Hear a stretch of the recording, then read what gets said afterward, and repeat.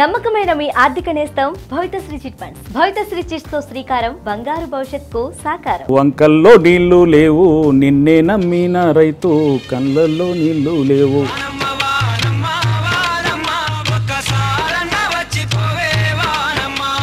Sir సిద్దిపేటలో ఏమన్నా మహత్యం ఉందా? ప్రతి ఒక్కరు ఒక మెగాస్టార్ అవుతున్నారు ఏంటి అసలు? మా బిడ్డ ఇలా చింతమడకల పుట్టిండు. ఆయన కూడా మామూలుగా పేదరికంలో ఉండే. పేదరికంలో పుట్టింది అగ్రకులమైనా కానీ పేదరికంలో పుట్టి కాళేశ్వర డ్యామును కట్టి నెర్రలు బారిన నేలను తడిపి పచ్చని పైరుకు ప్రాణం పోసే భగీరథుడతడేరా నిజంగా ఇక ఎవరినైనా చెప్తారు. ఒక అద్భుతమైన వయసులందరికీ నాయకుడు ఎవరు అంటే మొట్టమొదటి పేరు మీకే వస్తుంది. ఏం చేస్తున్నారు అంతగా? మీకు తెలుసు ఒక పల్లెటూరులో వయసుడు ఉన్నాడంటే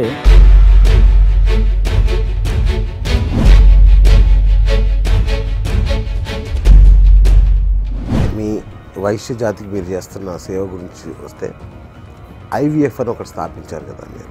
ఇంతకుముందు ఆర్యవైశ్య మహాసభ నడుస్తుంది. అదొక వందేళ్ళ సంస్థ.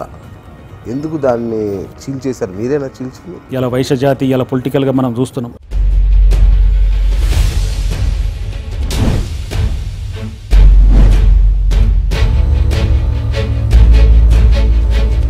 మీరు బయటకు వచ్చిన తర్వాత ఆర్యవైశ్య మహాసభ ఉందా లేదా అని పరిస్థితి వచ్చింది. ఎందుకలా? ఇప్పుడు ఇలా నూట పంతొమ్మిది కాన్స్టిట్యున్సీలలో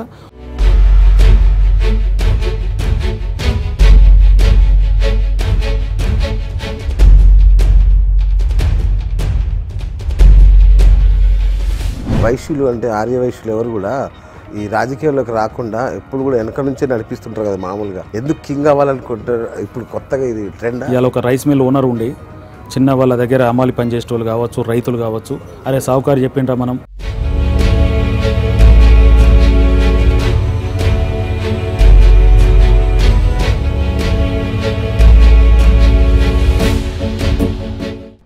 రోషయ్య గారితో మీకు మంచి అనుబంధం అంటారు? ఏదో మాటలు చెప్పడం అని కాదు.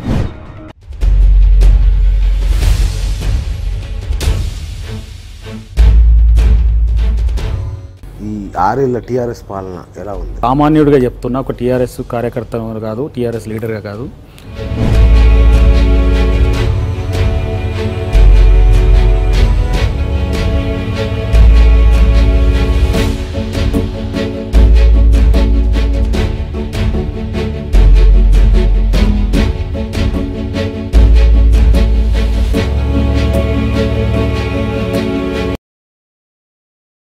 Hi viewers BS talk show.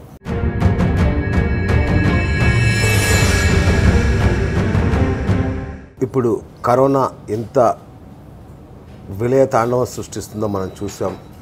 మొన్నటిదాకా లాక్డౌన్. ఆ లాక్డౌన్లో జనాలు ఎన్ని కష్టాలు పడ్డారో ఆకలికి ఎంత అలమటించారో చూసాం. మరి అలాంటి సిచ్యువేషన్లో వాళ్ళ ఆకలిని తీర్చడానికి జనం చాలామంది ముందుకొచ్చారు.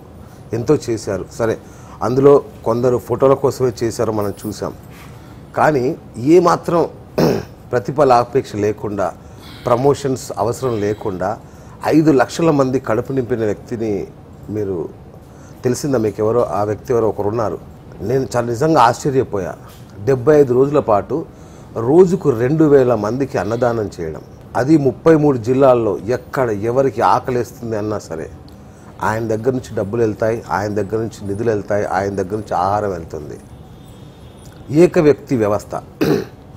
మనం ఓట్లేసి గెలిపించిన నాయకులు ఇంట్లో ముసుగుదాన్ని పడుకున్నారు చాలా వరకు. కానీ ఆయన మాత్రం భార్య పిల్లల్ని తీసుకొని ఎక్కడ కోవిడ్ ఉందో తెలియదు ఎక్కడ కరోనా ఉందో తెలియదు అయినా సరే ఆయన మరి ప్రాణాలకు లెక్క చేయలేదు.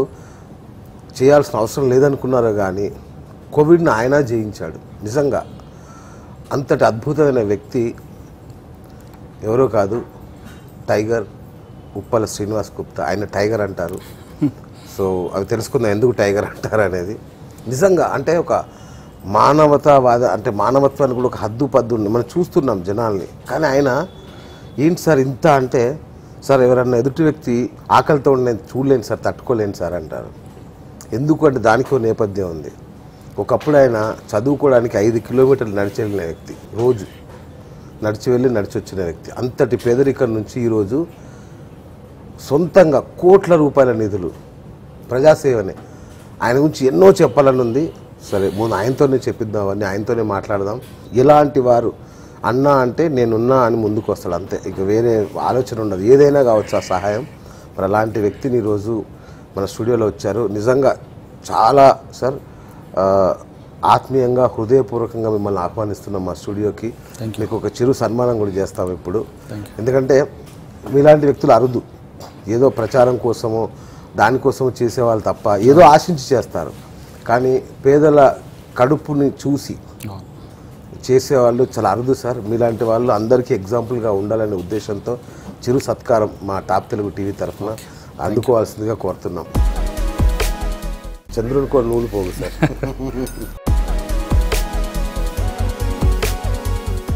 మిమ్మల్ని సన్మానించుకుంటే పేదవాళ్ళందరినీ సన్మానించినట్టుగా ఫీల్ అవుతున్నాం. Thank you, Sin bhai. Thank you very much. So thank you sir మా చిరు సత్కారాన్ని you very much, Sin bhai. నాకు తెలుసు మీరు ఇప్పుడు కాదు ఎప్పటి నుంచో తెలుసు నాకు.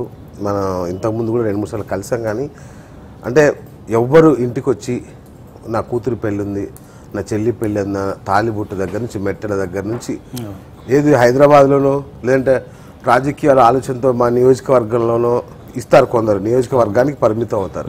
ముప్పై మూడు నియోజకవర్గాలు. పక్క రాష్ట్రం ఎవరు వచ్చి అడిగినా ఏంటి ఎందుకు అలా కులానికి వైశ్య కులంలో అగ్రకులంలో పుట్టినా కానీ చిన్నప్పటి నుంచి ఒక తపన. పేదరికంలో పుట్టిన బిడ్డ పేదరికంతో బాధపడదు. ఓకే. ఇలా ప్రభుత్వాలు ఇలా కేసీఆర్ గారు ఎంతో మందికి కళ్యాణ లక్ష్మి పథకం కావచ్చు ఒక రూపాయి కిలో బియ్యం కావచ్చు అన్నీ చేస్తున్నారు. అవును. ఎంత చేసినా కానీ ఎక్కడో ఒక దగ్గర కొందరికి రానోళ్ళు ఉంటారు. సపోజ్ కొందరు రేషన్ కార్డు లేని వాళ్ళు ఉంటారు కొందరు కొందరు కళ్యాణ లక్ష్మి పథకం రానోళ్ళు ఉంటారు. అటువంటి వాళ్ళు చాలామంది ఉన్నారు కాబట్టి రెక్కాడితే కానీ డొక్కాడని బతుకులలో ఉన్నారు కాబట్టి వాళ్ళందరికీ నేను కూడా ఏదో ఒక సేవ చేయాలి. ఏంటంటే కేసీఆర్ గారు ఏవైతే పథకాలు అమలు చేస్తున్నారో అవన్నీ మీరు ముందే చూశారు. ఇక వాళ్ళకి ఏంటంటే ఒక ఆడబిడ్డ పెళ్ళికి వాళ్ళకు తులమో పలమో అన్నట్టు వాళ్ళకి ఇస్తే బాగుంటుంది అనేది ఎస్సీ ఎస్టీ బీసీ ఏ కులమైనా అగ్ర కులాలలో ఉన్న కూడా పేదలు వైశ్యులలో కావచ్చు బ్రాహ్మణులలో కావచ్చు రెడ్డిలలో కావచ్చు ఎవరైనా ఏ కులమైనా కానీ కులాలకు అతీతంగా ఉప్పల ఫౌండేషన్ నుంచి సేవా దృక్పథం దాదాపు ట్వంటీ ఇయర్స్ నుంచి కంటిన్యూగా నడుస్తూనే ఉంది. నేను చదువుకున్న రోజులల్లో కూడా ఆ రోజులల్లో కూడా నోట్ బుక్స్ ప్రింట్ చేయించేసి నోట్ బుక్స్ కూడా ఇవ్వడం జరిగింది. అంటే ఒక మొదటి నుంచే ఒక నా బ్లడ్లోనే వచ్చింది అనిపిస్తుంది ఎందుకంటే నాన్న దగ్గర నుంచి చూసుకుంటే ఒక ఎవరు వచ్చినా కానీ ఆ రోజులలో కూడా మేము లక్ష్మీదేవపల్లి గ్రామంలో కేసీఆర్ గారి ఊరు పక్కనే మాది లక్ష్మీదేవపల్లి లక్ష్మీదేవపల్లి సిద్దిపేట జిల్లాకు వస్తుంది ఇప్పుడు.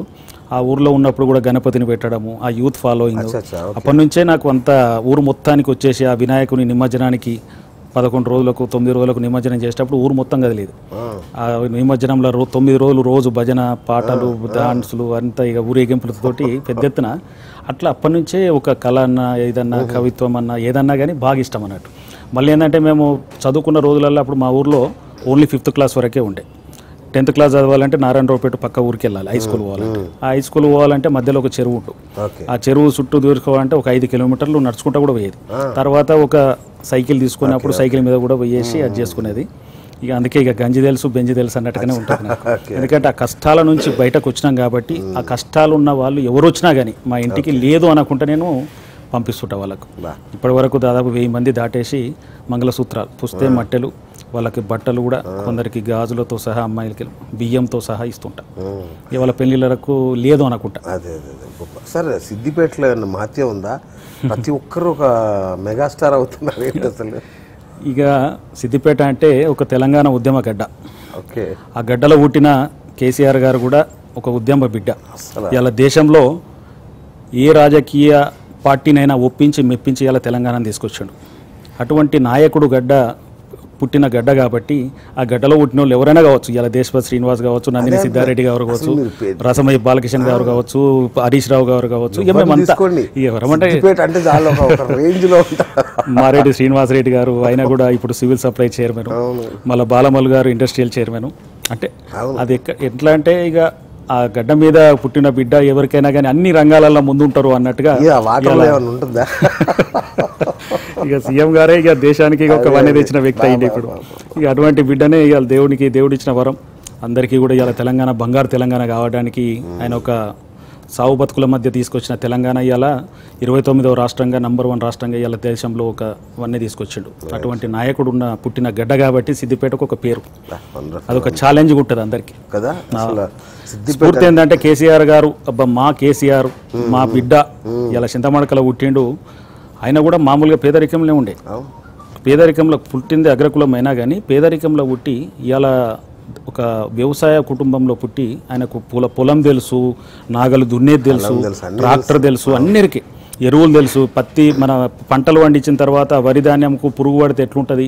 ఎండిపోతే ఎట్లుంటాయి? వర్షాలు లేకపోతే ఎట్లుంటది? ఆ. బాధలన్నీ తెలుసు కాబట్టి ఇలా రైతులంటే కూడా రైతులంటే ఎంతో అభిమానం ఇవాళ ఇవాళ ఎక్కడ ముప్పై మూడు వేల కోట్ల ఫండు పంటలు పండించిన పంటలన్నింటిని కూడా తీసుకొచ్చేసి ఇలా దేశంలో ఏ రాజకీయ నాయకుడు ఏ ముఖ్యమంత్రి కూడా చేయని పని ఇలా తెలంగాణలో రైతులకు సంతోషాన్ని మిగిల్చిండు. ఎందుకంటే ఇలా మూడు నాలుగు మూడు నెలల తొంభై రోజుల నుంచి గత తొంభై రోజుల నుంచి కరోనా ప్రపంచ వ్యాప్తంగా ఇవాళ ఆర్థిక పరిస్థితి చూసుకున్నా ఎవరు చూసుకున్నా కానీ బయటకు వెళ్ళలేని పరిస్థితి ఉంది. అటువంటిది కేసీఆర్ గారు మొన్న మనం చూసాం సూర్యాపేటలో ఒక కల్నల్ సంతోష్ది. అక్కడికి పోయేసి ఆ నుంచి బై రోడ్ వెళ్ళి కరోనాకు భయపడకుండా వాళ్ళకు ఐదు కోట్ల రూపాయలు ఇవ్వడం ఇవన్నీ ఇస్తుంటే ఇవాళ ఒక గ్రేట్ సీఎం అనిపించేటట్టుగా ఇవాళ ఇండియాలో ఒక టాప్ సీఎం. అటువంటి నాయకుడు దొరకడం మన తెలంగాణ ప్రజల నాలుగు కోట్ల మందికి అలా బంగారు భవిత చూపెడుతుండు. మర్చిపోయా మీకు చెప్పడం. ఒక సంవత్సరం క్రితం కదా మీరు? టీఆర్ఎస్లో రాష్ట్ర టూ నాయకులు ఇయర్స్ అయింది. టూ ఇయర్స్ టూ ఇయర్స్ క్రితం టీఆర్ఎస్లో జాయిన్ అయ్యారు. కేటీఆర్ గారికి మంచి కుడి ఎడమ. ఆ, ఇప్పుడు కేటీఆర్ గారి స్పెషల్ టీంలో తను కూడా ఉంటారు. సో ఇంత తక్కువ కాలంలో కేటీఆర్ గారి ఆ స్థాయిలో ఎలా వెళ్ళిపోయారు మీరు అంటే కేటీఆర్ గారు అంటే ఒక యువ నాయకుడు ఒక టైగర్ అంటే ఒక డైనమిక్ లీడర్. అవును. ఎందుకంటే తండ్రికి తగ్గ తనయుడు. ఆ ఉద్దేశం మనమందరం చూస్తున్నాం. ఇలా ఆంధ్రప్రదేశ్లో చూస్తే లోకేష్ గారు చంద్రబాబును చూసినాం. తెలంగాణలో కేసీఆర్ కేటీఆర్ను చూసినాం. అసలు కేసీఆర్ ఒకటి చెప్తే నేను నాలుగు చేసేటట్టుగా పనిచేస్తాడు కేటీఆర్ గారు. ఇవాళ ఐటీ పరిశ్రమలు చూసుకున్నా ఒక ఐటీ పరిశ్రమ ఇవాళ అమెజాన్ కంపెనీ కావచ్చు యాపిల్ కావచ్చు ఇవన్నీ కంపెనీస్ ఇవాళ హైదరాబాద్కి రావడం అంటే బికాస్ ఆఫ్ కేటీఆర్. ఇవాళ దేశంలో సాఫ్ట్వేర్ కంపెనీస్ అంటే ఓన్లీ బెంగళూరు వైపే చూసేవాళ్ళు మన ఎంప్లాయీస్ మన యూత్ అంతా. ఇవాళ అన్ఎంప్లాయ్మెంట్ లేకుండా అటువంటి కంపెనీస్ ఇవాళ తీసుకొచ్చి లక్షలాది మందికి ఒక ఐకాన్ అయిండు కేటీఆర్. అటువంటి నాయకుడు ఉండడం కూడా ఇలా దే మన తెలంగాణ రాష్ట్రానికి కూడా ఒక మంచి ఇండస్ట్రియల్ పరంగా ఇలా మున్సిపల్ మినిస్టర్గా కావచ్చు. ఏది ఉన్నా కానీ ఇలా హైదరాబాద్లో రోడ్స్ చూసుకున్నా ఎక్కడ చూడు ఏ రేడియల్ రోడ్ అయినా కానీ minimum one twenty feet road ఇచ్చే పరిస్థితి కేటీఆర్ గారు తీసుకొచ్చారు. ఇలా మనం ట్రాఫిక్లో చూస్తుంటే గంటలు గంటలు తరబడి ఉండేది ఇలా మహారాష్ట్ర పోయినా ఇలా కర్ణాటక పోతే మనం ఎయిర్పోర్ట్ పోవాలంటే రెండు గంటల రెండున్నర గంటల ముందు ఉండాలి. అదే మన దగ్గర అవుటర్ రింగ్ రోడ్ కావచ్చు ఇన్నర్ రింగ్ రోడ్ కావచ్చు రేడియల్ రోడ్స్ కావచ్చు ఇవన్నీ చూసుకుంటే మనకు చాలా బెటర్ మన హైదరాబాద్. అటువంటి పరిస్థితి కేటీఆర్ తోటి సాధ్యమవుతుంది. ఇలా అదే ఆయన ఆయన ఇండియన్ టీంలోకి ఎలా? టూ ఇయర్స్లోనే ఒక్కొక్కరు ఇరవై ఏళ్ళు కష్టపడ్డా కూడా ఆ స్థానం రాదే. అంటే ఇక మనకి ఏంటంటే మన ఫాలోయింగ్ కావచ్చు మనది ఏమున్నా కానీ మన జైనింగే ఒక పదివేల మందితోటి పెద్ద ఎత్తున ముప్పై మూడు జిల్లాల నుంచి వైశ్య జాతి అంతా మా వైశ్య మిత్రులంతా నన్ను ఆశీర్వదించడానికి తెలంగాణ భవన్కు రావడం మన నాగోలు ఇంటికి రావడం. నాగోల్ క్రాస్ రోడ్ దగ్గర కూడా టూ అవర్స్ టూ అవర్స్ మొత్తం జామ్ అయిపోయింది. అందరికి తెలుసా సంగతి. ఇక ఆయన కండువ కప్పుకొని కాంగ్రెస్ పార్టీలో కూడా ఇరవై ఏళ్ళు ఉంటాయి ఇరవై ఏళ్ళల్లో కూడా మనకు అంత ఏమీ అంత ఉపయోగం అంటే ఉపయోగం అంటే వాళ్ళ దగ్గర కూడా నాయకత్వం మనం అనేది కరెక్ట్గా లేదు. అదే నేను అన్న ఇరవై ఏళ్ళ పాటు కాంగ్రెస్లో ఉండి కూడా మీరు పెద్దగా సాధించింది సాధించింది ఏం లేదు. రెండేళ్ళలోనే రెండేళ్ళ మాపో రాజ్యసభనో లేదంటే ఇక అవన్నీ కార్యకర్తగా పనిచేస్తాం. కేసీఆర్ గారికి కేటీఆర్ గారు ఇక వాళ్ళ ఆధ్వర్యంలో మనం ఏ పని ఇచ్చినా కానీ చేసినాం మన హుజూర్నగర్ వచ్చినట్టేనా? హుజూర్నగర్ కాన్స్టిట్యున్సీలో కూడా పెద్ద ఎత్తున మనం ప్రచారం చేసినాం. పదివేల ఓటర్స్ను మనము వన్ సైడ్ ఓటింగ్ చేపించేసి గ్రేట్. లిబరల్గా ఉన్న వాళ్ళని కూడా మనం వన్ సైడ్ కేసీఆర్ గారి బాటలో నడువుండ్రి కారు గుర్తు కొట్టేయండి సైదిరెడ్డిని ఆశీర్వదించండి అని చెప్పేసి ప్రతి ఒక్క మండలానికి వెళ్ళి నేరేడు జిల్లాలో మూడు వందల ముప్పై ఇండ్లు ఉంటే మూడు వందల మందికి ఇండ్లలోకి పోయేసి నేను దండం పెట్టుకొని ఓటేపించుకున్నాను అంటే ఇవాళ సైదిరెడ్డి కూడా అట్లా పనిచేయాలి ఇవాళ మన రైస్ మిల్లర్స్ బాధలు కావచ్చు కిరాణా షాపుల బాధలు కావచ్చు ఎన్నో ఉన్నాయి. మా వయసులలో కూడా సెవెంటీ పర్సెంట్ ఎయిటీ పర్సెంట్ రెక్కాడితే కానీ డొక్కాడని బతుకులలో ఉన్నారు. వాళ్ళ కూడా గుమస్తగిరి చేసుకుంటూ పదివేలకు పదిహేను వేలకు ఇట్లా ఉద్యోగాలు చేసుకుంటా వాళ్ళ ఉంటారా చాలా మంది చాలా మంది అందుకే నేను జైన్ అయినప్పుడు కూడా కేటీఆర్ గారికి ఒక మాట చెప్పిన నా జైనింగ్లో నా స్పీచ్లో చెప్పిన. రామన్న డాడీకి చెప్పేసి ఒక అందరికీ బ్రాహ్మణులకు ఇచ్చిండు. ప్రతి ఒక్క కులానికి ఇలా కేసీఆర్ గారు వాళ్ళకు ఒక దేవుడు దేవుడు అయ్యిండు అవును. ఇలా మా వైశ్య జాతి కూడా అందరూ అనుకుంటారు కోమట అనగానే కోటీశ్వర్లు అనుకుంటారు లక్షాధికారులు అనుకుంటారు. కానీ వాళ్ళందరూ కోటీశ్వరులే అంటే ఎవరో టెన్ పర్సెంట్ ట్వంటీ పర్సెంట్ అంతే తప్ప చాలా మంది పేదరికంలో ఉన్నారు. ఇడ్లీ బండిలు నడుపుకుంటారు గుమాస్తాలు చేసుకుంటారు చిన్న చిన్న కిరాణా షాపులలో పని చేసుకుంటారు. అటువంటి వాళ్ళు ఇప్పుడు కిరాణా షాపులు కూడా నడిచే పరిస్థితి లేదు.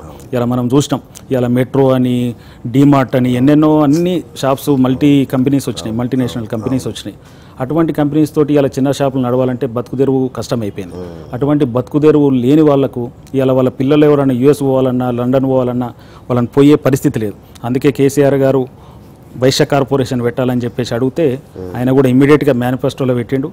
బ్రాహ్మణులకు ఎట్లయితే కార్పొరేషన్ ఇచ్చారో పేద బ్రాహ్మణుల కోసం వాళ్ళకి ఎట్లయితే బాగా బాగా ఉన్నాయో ఇలా వైశ్యులకును రెడ్డిలకు ఇద్దరికి ఇస్తా అని చెప్పేసి మేనిఫెస్టోలో పెట్టండి. అది త్వరలోనే కార్యరూపం తలుస్తుంది. ఐదు ఎకరాల స్థలం కూడా సంపాదించినట్టున్నారు? ఫైవ్ ఎకర్స్ కూడా మంచి ఉప్పల్ ప్రైమ్ ప్ర- prime property.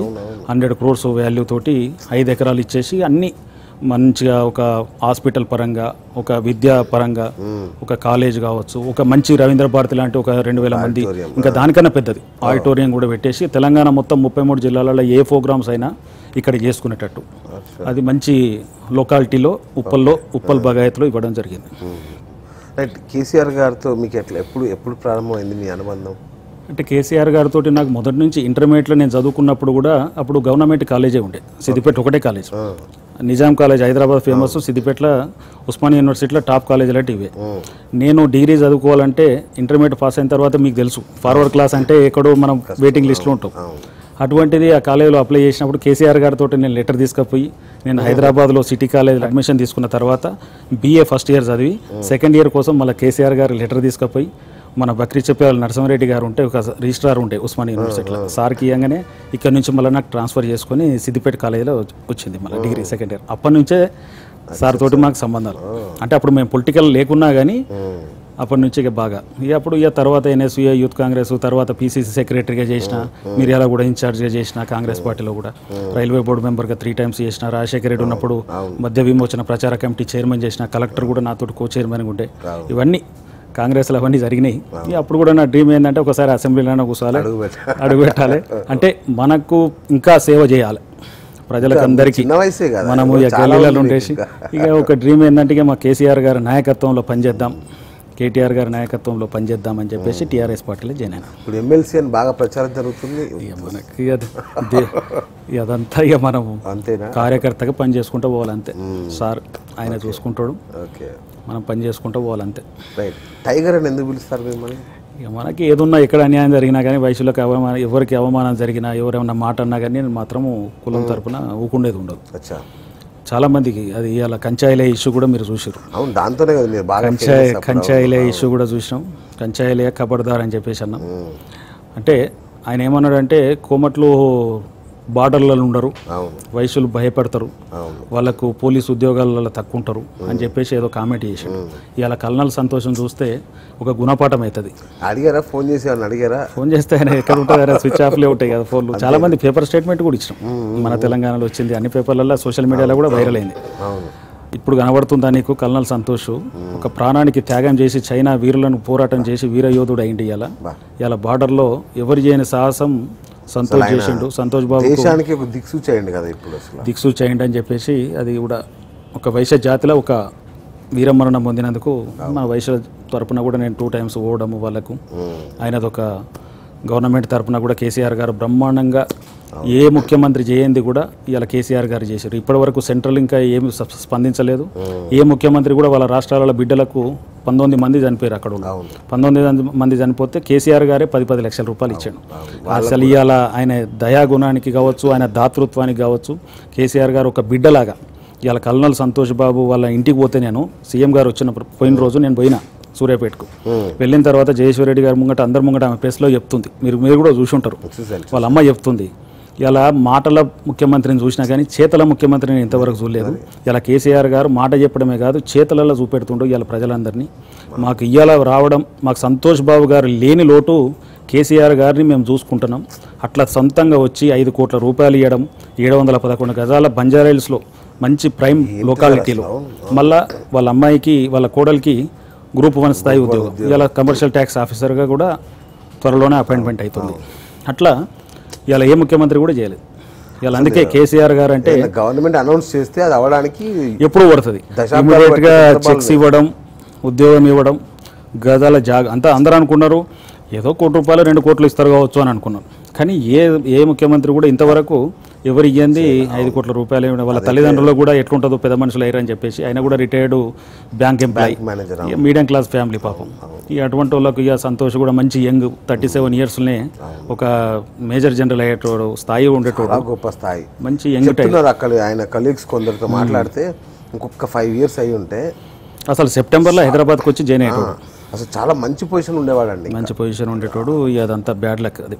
ఒక ఇండియాకు ఒక గొప్ప వీరుని మంచి ఒక ముగ్గురిని అప్పుడు పాకిస్తాన్ వాళ్ళతో కూడా అటాక్ చేసేసి ముగ్గురిని. ముగ్గురిని అటాక్ చేశాడు. అందుకని చెప్పేసి స్పెషల్గా నేను టీంలో పెట్టారు మన ఇండియా కూడా. సైనికులలో స్పెషల్గా ఆయననే పంపిస్తేనే కరెక్ట్గా పోరాడతాడు అన్నట్టుగా పంపిస్తే పాపం బ్యాడ్ లక్ అది ఏంటంటే ఇక ఏదో ఆ- టైం అంతా అది అది అయిపోయింది. ఉప్పల యువసేన అండ్ ఉప్పల ఫౌండేషన్ ఈ రెండు ఏంటి వేరు వేరు? యువసేన అంటే ఇక మన యూత్ ఫాలో యూత్ అంతా. ఇక మనం ఒక పిలిపిస్తే పదివేల మంది వచ్చినట్టుగా ఉంటారు. అంటే ఎక్కడైనా కానీ ఇవాళ ముప్పై మూడు జిల్లాలలో ఏ జిల్లాలో పోయినా కానీ ఉపల సీన్ అన్న అని అంటే ఒక అభిమానం. అంటే ఒక మనం ఏదైనా కానీ హెల్పింగ్ నేచర్ కావచ్చు ఎవరికైనా ఏదైనా పనబడ్డా పోలీస్ స్టేషనా ఇంకేదైనా ఎంఆర్ఓ ఆఫీసా కలెక్టర్ ఆఫీసా ఏది ఉన్నా కానీ మనం ముందు ఉంటాము సీనన్నకి ఏది చెప్పినా పని అవుతుంది అన్నట్టుగా ఎవరికైనా ఎంప్లాయ్మెంట్ కావాలన్నా ఇంకేదన్నా కావాలన్నా కంపెనీలో పెట్టేయడం కానీ నా కంపెనీలో పెట్టుకోవడం కానీ ఇవన్నీ ఉంటాయి కాబట్టి వాళ్ళకు హెల్పింగ్ నేచర్ బాగుంటుంది సీనన్నది అన్నట్టుగా ఒక మొదటి నుంచి మనకు సోషల్ మీడియాలో కావచ్చు ఎక్కడైనా కావచ్చు ఆ ప్రేమ అనేది ఉంటుంది వాళ్ళకు. రైట్ అంటే నేను చూస్తున్నాను మిమ్మల్ని ఒక టీఆర్ఎస్ రాష్ట్ర స్థాయి నాయకులు అయి ఉండి కూడా అంటే చాలాసార్లు మీరు ఒక వైశ్య ప్రముఖుడిగానే గుర్తింపు పొందడానికి ఇష్టపడతారా? లేదంటే అట్లా ఉండదు. ఒక టీఆర్ఎస్ రాష్ట్ర నాయకుడి దాంట్లో ఉంటారా? అట్లా కులం అనేది కాదు వయసుల కోసం అనేది కాదు. నా దగ్గర అందరికీ ఇప్పుడు మేము ఇందాకనే చెప్పిన నా ఫౌండేషన్ నుంచి. మొన్న మేము ఈ డెబ్బై ఐదు రోజులు చేసింది అయితే మీకు తెలుసు. రోజు రెండు వేల మందికి ఎక్కడ గుడిసెలు ఉంటే అక్కడ ఎక్కడ మైగ్రెంట్స్ ఉంటే అక్కడ పేద బ్రాహ్మణులకు పేద వైశ్యులకు పేద రెడ్డిస్ కావచ్చు అందరికీ వాళ్ళ దగ్గరికి పోయేసి కళాకారులకు ఆర్కెస్ట్రా వాళ్ళకు. వాళ్ళకి ఎవరికి మన వీళ్ళందరికీ కూడా మనం దగ్గరికి పోయి ఇవ్వడం. మన ఇంటి దగ్గరికి రాకున్నా కానీ వాళ్ళ దగ్గరికి పంపించేసి చిన్న చిన్న గుడి పూజలు వాళ్ళకు కూడా ఏం పూజలు లేవు పాపం. బ్రాహ్మణులకు కూడా వాళ్ళకి బియ్యము పప్పు మన మంచి నూనె మిర్చి పౌడరు ఉప్పుతో సహా కూరగాయలతో సహా ఇచ్చిన మాస్కులు మళ్ళీ శానిటైజర్స్ సేఫ్టీ కిట్స్ ఒక నాలుగు వేల సేఫ్టీ కిట్స్ తయారు చేయించిన అందులో శానిటైజర్ ఉంటుంది మాస్క్ ఉంటుంది కోవిడ్ గార్డ్ ఉంటుంది. అందరికీ కేటీఆర్ గారికి అందరికీ ఇవ్వడం కూడా జరిగింది. అన్న ఇట్లా ఇస్తున్నాను నేను అని చెప్పంటే వాళ్ళు కూడా. ఎందుకంటే ఇవాళ డాక్టర్స్ కావచ్చు శానిటైజర్ వాళ్ళకి జిహెచ్ఎంసీ సిబ్బంది కూడా వాళ్ళకి ఏముండదు పాపం. ఆ మాస్క్ వేసుకొని వాళ్ళు ఊడుస్తున్నా కానీ వాళ్ళకి ఏం కరోనా రాకుండా జాగ్రత్తగా ఉండటానికి అని చెప్పేసి మీరు కేటీఆర్ గారు చెప్పాల్సిన అవసరం ఏంటి? ఆల్రెడీ ఇంటెలిజెన్స్ ద్వారా అన్ని ఏంటి మొత్తం అసలు ఒక వ్యవస్థలాగా పనిచేసుకుంటూ పోతే రిపోర్ట్స్ కూడా వచ్చిన సందర్భం ఇంటర్నేషనల్ వైశ్య ఫెడరేషన్ నుంచి కావచ్చు సెంట్రల్ నుంచి కూడా లోక్సభ స్పీకర్ గారు ఓం బిర్లా గారు కూడా మాట్లాడడం జరిగింది. జూమ్ కాల్లో అందరితో ఉంటే ఆయనతో కూడా మాట్లాడాం సీఎం కేసీఆర్ గారు చేసిన పనులు ఇవాళ రైతులు కూడా వాళ్ళకు పండించిన పంట ఇవాళ ట్రాన్స్పోర్ట్ లేదు. వాళ్ళ దగ్గరికి వచ్చి ఎవరు కొంటారో తెలియదు. అటువంటిది అధికారులే పోయేసి అక్కడ లోకల్ సర్పంచ్ నుంచి మొదలు పెడితే ఎంపీటీసీ కావచ్చు ఎవరైనా కావచ్చు దగ్గరుండి వాళ్ళను కాంట పెట్టించేసి వాళ్ళకి డబ్బులు ఇచ్చే పరంగా సీఎం గారు చేశారు కాబట్టి వాళ్ళకి ఎక్కడ కూడా నీకు చూడండి సొసైడ్ కానీ ఇప్పుడు కేసీఆర్ గారు పల్లెన వచ్చిన తర్వాత రైతు బంధు పథకం కావచ్చు twenty four hours free current కావచ్చు పండించిన పంటకు గిట్టుబాటు ధర కావచ్చు ఇవన్నీ చూసుకుంటే నీకు ఎక్కడ కూడా ఏ దేశంలో ఏ ముఖ్యమంత్రి చేయట్లేదు. ఇప్పుడు అంతా బీజేపీ గవర్నమెంట్స్ ఉన్నాయి కాంగ్రెస్ గవర్నమెంట్స్ పంజాబ్లో ఉంది గుజరాత్లో వీళ్ళ గవర్నమెంట్ ఉంది ఎక్కడ కూడా ఫ్రీ కరెంట్ లేదు. ఇలా ట్వంటీ ఫోర్ అవర్స్ కరెంటు ఇచ్చిన నాయకుడు ఎవరైనా ఉన్నారంటే కేసీఆర్. అందులో డౌటే ఉంది అట్లా. రైట్ మీకు ఒకవేళ ఎమ్మెల్సీ కాదు అనుకోండి ఏ కార్పొరేషన్ మనకు అంటే. కార్పొరేషన్ పదవులు కూడా మీ పేరు వినబడుతుంది ఇది కాకపోతే అది అని మీకు ఇక మనకి ఏం తెలియదు శ్రీనివాస్ భాయ్. మనం పని చేసుకుంటూ పోవాలి కానీ మనకి ఇది వస్తుందా అది వస్తుందా అనేది కాదు. ఎక్స్పెక్టేషన్ ఏం లేదు. ఎక్స్పెక్టేషన్ ఏం లేదు. పని చేసుకుంటూ పోతాం అంతే. ఇది తీసుకో సీను నువ్వు తీసుకోతాం అంటే కథ. అది చేసుకుంటా పని చేసుకుంటూ పోతాం. అది కూడా న్యాయం చేసేటట్టుగా. అంతే కదా. మనకి ఇంకోరు ఏలైతే చూపెట్టట్టు కాదు. కేసీఆర్ గారికి పేరు వచ్చేటట్టు పార్టీకి టీఆర్ఎస్ పార్టీకి పేరు వచ్చేటట్టు. అట్లా ఉంటాడు ఉప్పల శ్రీనివాస్ అంటే అట్లా ఆ పేరు అరే ఉప్పల శ్రీనివాస్ బాగా చేస్తుండ్రా అన్నట్టుగా ఆయన దగ్గర గుడ్ బుక్స్లో ఉండాలి అంతే. నా డ్రీమ్ అంతే. గుడ్ బుక్స్ ఏంటి? గుడ్ లుక్స్ అన్నీ అయిపోయినాయి. ఆయన విషయంలో మీ మంచి అది ఉంది. రైట్ అట్లాగే మీరు సమాజ సేవ ఒకవైపు రైట్ పార్టీ పార్టీలో సేవ ఒకవైపు అయితే వైశ్యుల కోసం మీరు చేస్తున్నది కూడా నిజంగా ఎవరినైనా చెప్తారు. ఒక అద్భుతమైన వైశ్యులందరికీ నాయకుడు ఎవరు అంటే మొట్టమొదటి పేరు మీకే వస్తుంది. ఏం చేస్తున్నారు అంతగా? అంటే ఇప్పుడు ఎక్కడ పేద వయసులు ఉంటే అక్కడ నేను హెల్ప్ చేస్తా. ఓకే. చిన్న ఒక ఎగ్జాంపుల్ చెప్తా. కాటారం దగ్గర ఒక పేద వయసుడు వార్తా పేపర్లు ఎక్కడో చూసాను సోషల్ మీడియాలో రాగానే అడుక్కుంటారు వాళ్ళు. వాళ్ళకి ఇల్లు లేదు. ఏది లేదు. అటువంటి పరిస్థితి ఎక్కడనో గవర్నమెంట్ ఆఫీస్ దగ్గరనో ఏనో కమ్యూనిటీ హాల్ దగ్గరనో పడుకుంటారు వాళ్ళు. అది చూసిన. చూడంగానే సోషల్ మీడియాలో రాగానే ఇక ఇమీడియట్గా మేమంతా కలిసేసి ఒక లక్ష డెబ్బై వేల చెక్కు బై రోడ్డు కారులో ఇచ్చేసి మా టీం ద్వారా అక్కడికి పంపించేసి వాళ్ళకి సొంతంగా డబ్బులు అక్కడ బ్యాంకులో డిపాజిట్ చేపించేసి నేను చేసిన తర్వాత మిగతా వాళ్ళందరూ కలిస్తే ఒక ఐదారు లక్షల రూపాయలు అయినాయి వాళ్ళకి. ఆ, ఇక మళ్ళీ వాళ్ళకు ఇక మళ్ళీ ఒకసారి అడుక్కునే పరిస్థితి రావద్దు అని చెప్పేసి ఎందుకంటే వైశ్య బిడ్డ అంటే వైశ్యులు అంటే దానం ధర్మం. మీకు తెలుసు ఒక పల్లెటూరులో వైశ్యుడు ఉన్నాడంటే ఆ ఊరుకు అందం ఇలా గుడి కట్టిన. గుడి కట్టిన కోటి ఇచ్చినా కానీ కోటి రూపాయలు ఇచ్చినా కానీ కోమటిని కొనుక్కోవాలంటాడు. ఎందుకంటే కోమట్లు ఎవరి దగ్గర అడుక్కునేది ఉండదు. కోమట్లు అంటే ఒక నమ్మకం. ఇవాళ ఒక వాళ్ళతోటి వ్యాపారం ఏ రైస్ మిల్లను ఆయిల్ మిల్లను ఏదైనా చిన్న షాప్లో కూడా పొత్తుంటే ఒక లక్ష రూపాయలు ఇస్తే లక్ష పదివేలు ఇస్తారు కానీ లక్షని తీసుకుపోయి తొంభై వేలు ఇయ్యరు. అందుకని కేసీఆర్ గారికి మొదటి నుంచి సిద్దిపేటలో దాదాపు ఇరవై ఐదు వేల ఓటర్స్ ఉన్నారు. ఆ రోజు నుంచి ఈ రోజు వరకు. ఓకే. ఆయన సిక్స్ టర్మ్స్ ఎమ్మెల్యేగా ఉన్నా కానీ ప్రతిసారి ఇరవై ఐదు వేల మెజార్టీ మినిమం వచ్చేసి ఎంత తగ్గ ఫర్ పో- పాలన పోటీ ఉన్నా కానీ మదన్ మోహన్ సాబ్ నుంచి ఎవరు వచ్చినా కానీ ఆయన ఎవ్వరు వచ్చినా కానీ ఆయన ముంగట ఎవరు కూడా గెలవకపోదురు. ఆ రోజు నుంచి వైశాస్ అంతా కూడా సపోర్టే కేసీఆర్ గారికి. ఈ పార్టీ ఆ పార్టీ అని కాదు. ఇక టీఆర్ఎస్ పార్టీ పెట్టినాక అవుట్ రేట్ ఇవాళ జేఏసీ అని పెట్టినా కానీ రైస్ మిల్ బంద్ అంటే బంద్ కుల్ల అంటే కుల్ల. అట్లా చేసుకుంటా ఇవాళ సకల జనుల సమ్మె కావచ్చు అన్నిట్లలో వైశాస్ ఉన్నారు. ఇవాళ గెస్టెడ్ ఆఫీసర్స్ కూడా శ్రీనివాస్ గుప్తా గారు ఉన్నాడు అడిషనల్ ఎస్పీ. ఆ రేంజ్లో కూడా అన్ని ఆర్గనైజేషన్లు ఇవాళ వాసవి క్లబ్ కావచ్చు అవోపా కావచ్చు మేధావుల సంఘం అన్నట్టుగా అన్ని అన్ని అన్ని organisations they are supported to KCR. మేము జాయిన్ అయిన తర్వాత కూడా నేను అరవై ఆరు కాన్స్టిట్యున్సీలు తిరిగిన. ఎమ్మెల్యే ఎలక్షన్లు అప్పుడు. కేటీఆర్ గారు కవితక్క ఇటు కేసీఆర్ గారు కాన్స్టిట్యున్సీ సొంత గజ్వెల్ కాన్స్టిట్యున్సీలో కూడా నాలుగు వేల మందితోటి వైశ్యులతోటి మీటింగ్ పెట్టించాం మీటింగ్ పెట్టించేసి హరీష్ అన్నను ప్లస్ ఇటు కొత్త ప్రభాకర్ ఎంపీ గారిని వీళ్ళందరినీ వెళ్ళేసి ఆ రోజు కూడా నేను పిలిపించిన. ఏ పనున్నా కేసీఆర్ గారు ఇక్కడ ముఖ్యమంత్రి మీకు అదృష్టం. ఇలా గజ్వెల్ ప్రజలది అదృష్టం. ఎందుకంటే ఆల్రెడీ ఒకసారి ముఖ్యమంత్రిగా చేసిండ్రు. ఐదేళ్ళలో మీకు గజ్వెల్ రూపురేఖలు మార్చిండు. ఇలా ఒక ఎట్లా అంటే తెలంగాణలో నంబర్ వన్ కాన్స్టిట్యున్సీ ఇలా గజ్వెల్ అయింది. గజ్వెల్ సెకండ్ సారి ఇప్పుడు మళ్ళీ గెలిస్తే ముఖ్యమంత్రి కేసీఆర్ గారు కాబట్టి ఇంకా మీకు వరాల జల్లు ఉంటుంది. ఇలా కాళేశ్వరం ప్రాజెక్టు చూసుకున్నా కానీ ఇలా గజ్వెల్కు నీళ్ళు వచ్చినాయి ఇంటింటికి నీళ్ళు వస్తున్నాయి. ఇలా రంగనాయక సాగర్ మొన్ననే స్టార్ట్ చేసిండు. ఇలా పంటలు చూడు కోటి ఎకరాల మాగవన అవుతుందంటే ఇలా పంటలు పండించిన పంటను మనం దినంగా ఇంకా ఎక్స్పోర్ట్ చేసే పరిస్థితి వచ్చింది. అటువంటి నాయకుడు కేసీఆర్ కాబట్టి మూడు సంవత్సరాల కాలంలోనే అంత పెద్ద ప్రాజెక్టును కంప్లీట్ చేసిందంటే మామూలు విషయం కాదు. ఒకరోజు సీఎం గారి దగ్గర పోయినప్పుడు సార్కు బర్త్డే ఉన్నప్పుడు బర్త్డే ఉంటే కలిసేసి నేను సార్ రూమ్లో యాంటీ రూమ్లో కూర్చోమంటే కూర్చున్నా ఒక ఐదు నిమిషాలు. కూర్చుంటే అవన్నీ కాళేశ్వరం ప్రాజెక్టుది మొత్తం డిస్ప్లే. టీవీలో చూపెట్టుకుంటా. నిన్నటి వరకు ఎంతవరకు అయింది? ఇవాళ ఎంతవరకు డెవలప్మెంట్ అయింది. అవన్నీ చూపెడుతుంటే ప్రతి ఒక్కరం అసలు ఆశ్చర్యం. ఏ టు జెడ్ ఆయనకు వాటర్ ప్యూరిఫై క్యూరింగ్ ఎట్లయితుంది? సిమెంట్ది ట్రక్స్ వచ్చినాయా? ఎంత నిన్నటికి ఇవాళకి ఎంత డెవలప్మెంట్ అయింది? ఏ ఏ పిల్లర్ ఎప్పటి వరకు అయింది అన్నట్టుగా ప్రతి ఒక్కటి కేసీఆర్ గారి దగ్గర ఉండి చూసుకున్నాడు కాబట్టి ఆ మూడేళ్ళలో సాధ్యమైంది. అది కావాలంటే పదేళ్ళైనా కానీ కాదది. అంత ఎంత పెద్ద కాంట్రాక్టర్స్కి ఇచ్చినా కానీ కాదు. ట్వంటీ ఫోర్ అవర్స్ పని చేయించాం చిన్న చిన్న ఎత్తిపోతల పథకాలకే ఇరవై ఏళ్ళు ముప్పై ఏళ్ళు ఇంకా పూర్తిగానే ఉన్నాయి. మళ్ళా హరీష్ రావు గారు కూడా చెప్పంగానే పోవడం అక్కడ పని చేయడము అన్ని విధాలలో. సార్కి ఏంటంటే మంచి టీం. ఇవాళ ప్రిన్సిపల్ సెక్రటరీ కావచ్చు ఇలా మనం చూసినాం సోమేష్ కుమార్ గారు కూడా. ఎంత ధైర్యంగా. ఇలా కరోనాకు భయపడకుండా పాపం ఎక్కడైనా కానీ ఒక ఐఏఎస్ ఆఫీసర్ ఇటువంటి ఆఫీసర్ ఉన్నాడంటే కూడా నాకు గ్రేట్ అనిపిస్తుంది. అటువంటి టీము సార్ దగ్గర పనిచేస్తుందంటే అంత టీం పనిచేస్తారు. ఇలా కలెక్టర్ చూడండి ఒక్కొక్కరు రోడ్డు మీదకి వచ్చేసి వాళ్ళు కరోనాకు ఇలా మనం సిరిసిల్లలో చూసాం సోషల్ మీడియాలో వచ్చింది.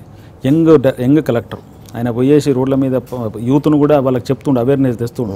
మీరు ఇట్లా ఓదురా నాయన ఇట్లా ఉండాలి ఇట్లా ఉండాలి అని చెప్పేసి చెప్పడం అంటే అంటే ఐఏఎస్ స్థాయి ఆఫీసర్లను కూడా పనిచేస్తారు బాగా. ఇంతకుముందు గవర్నమెంట్ మనం చూసినాం అరవై సంవత్సరాలు ఏం డెవలప్ అయింది ఇప్పుడు డెవలప్మెంట్ ఎంత అయింది?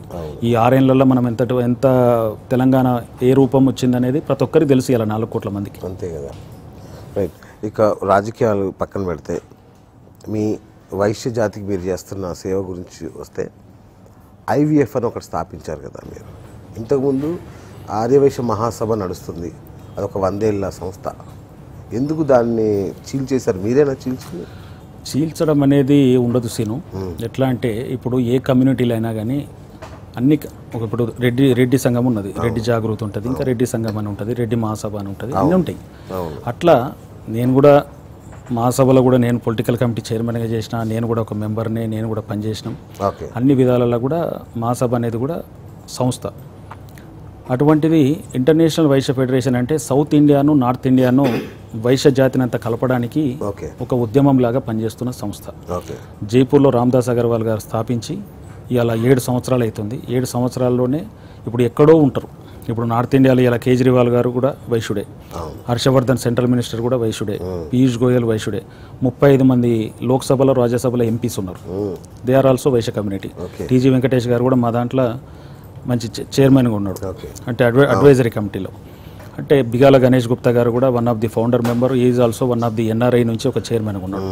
ఇట్లా మనం అంతే ఏంటంటే ఈ ఇది ఈ ఆర్గనైజేషన్ ఆర్గనైజేషన్ కాదు. వీఆర్ యునైటెడ్ మేము ఏ సంస్థ అని ఇవ్వాలని ఇందాకనే చెప్పిన అవోప కావచ్చు వాసవి క్లబ్ కావచ్చు ఆర్యవేశ మహాసభ కావచ్చు ఇంకా ఎన్నో సంస్థలు ఉన్నాయి అన్ని సంస్థలు కూడా ఒక ప్లాట్ఫామ్. నేను మొన్న నా టీఆర్ఎస్ పార్టీలో జాయినింగ్ అయినప్పుడు కూడా ప్రతి ఒక్కరు వచ్చేసి నా ప్లాట్ఫామ్ మీద ఉన్నారు.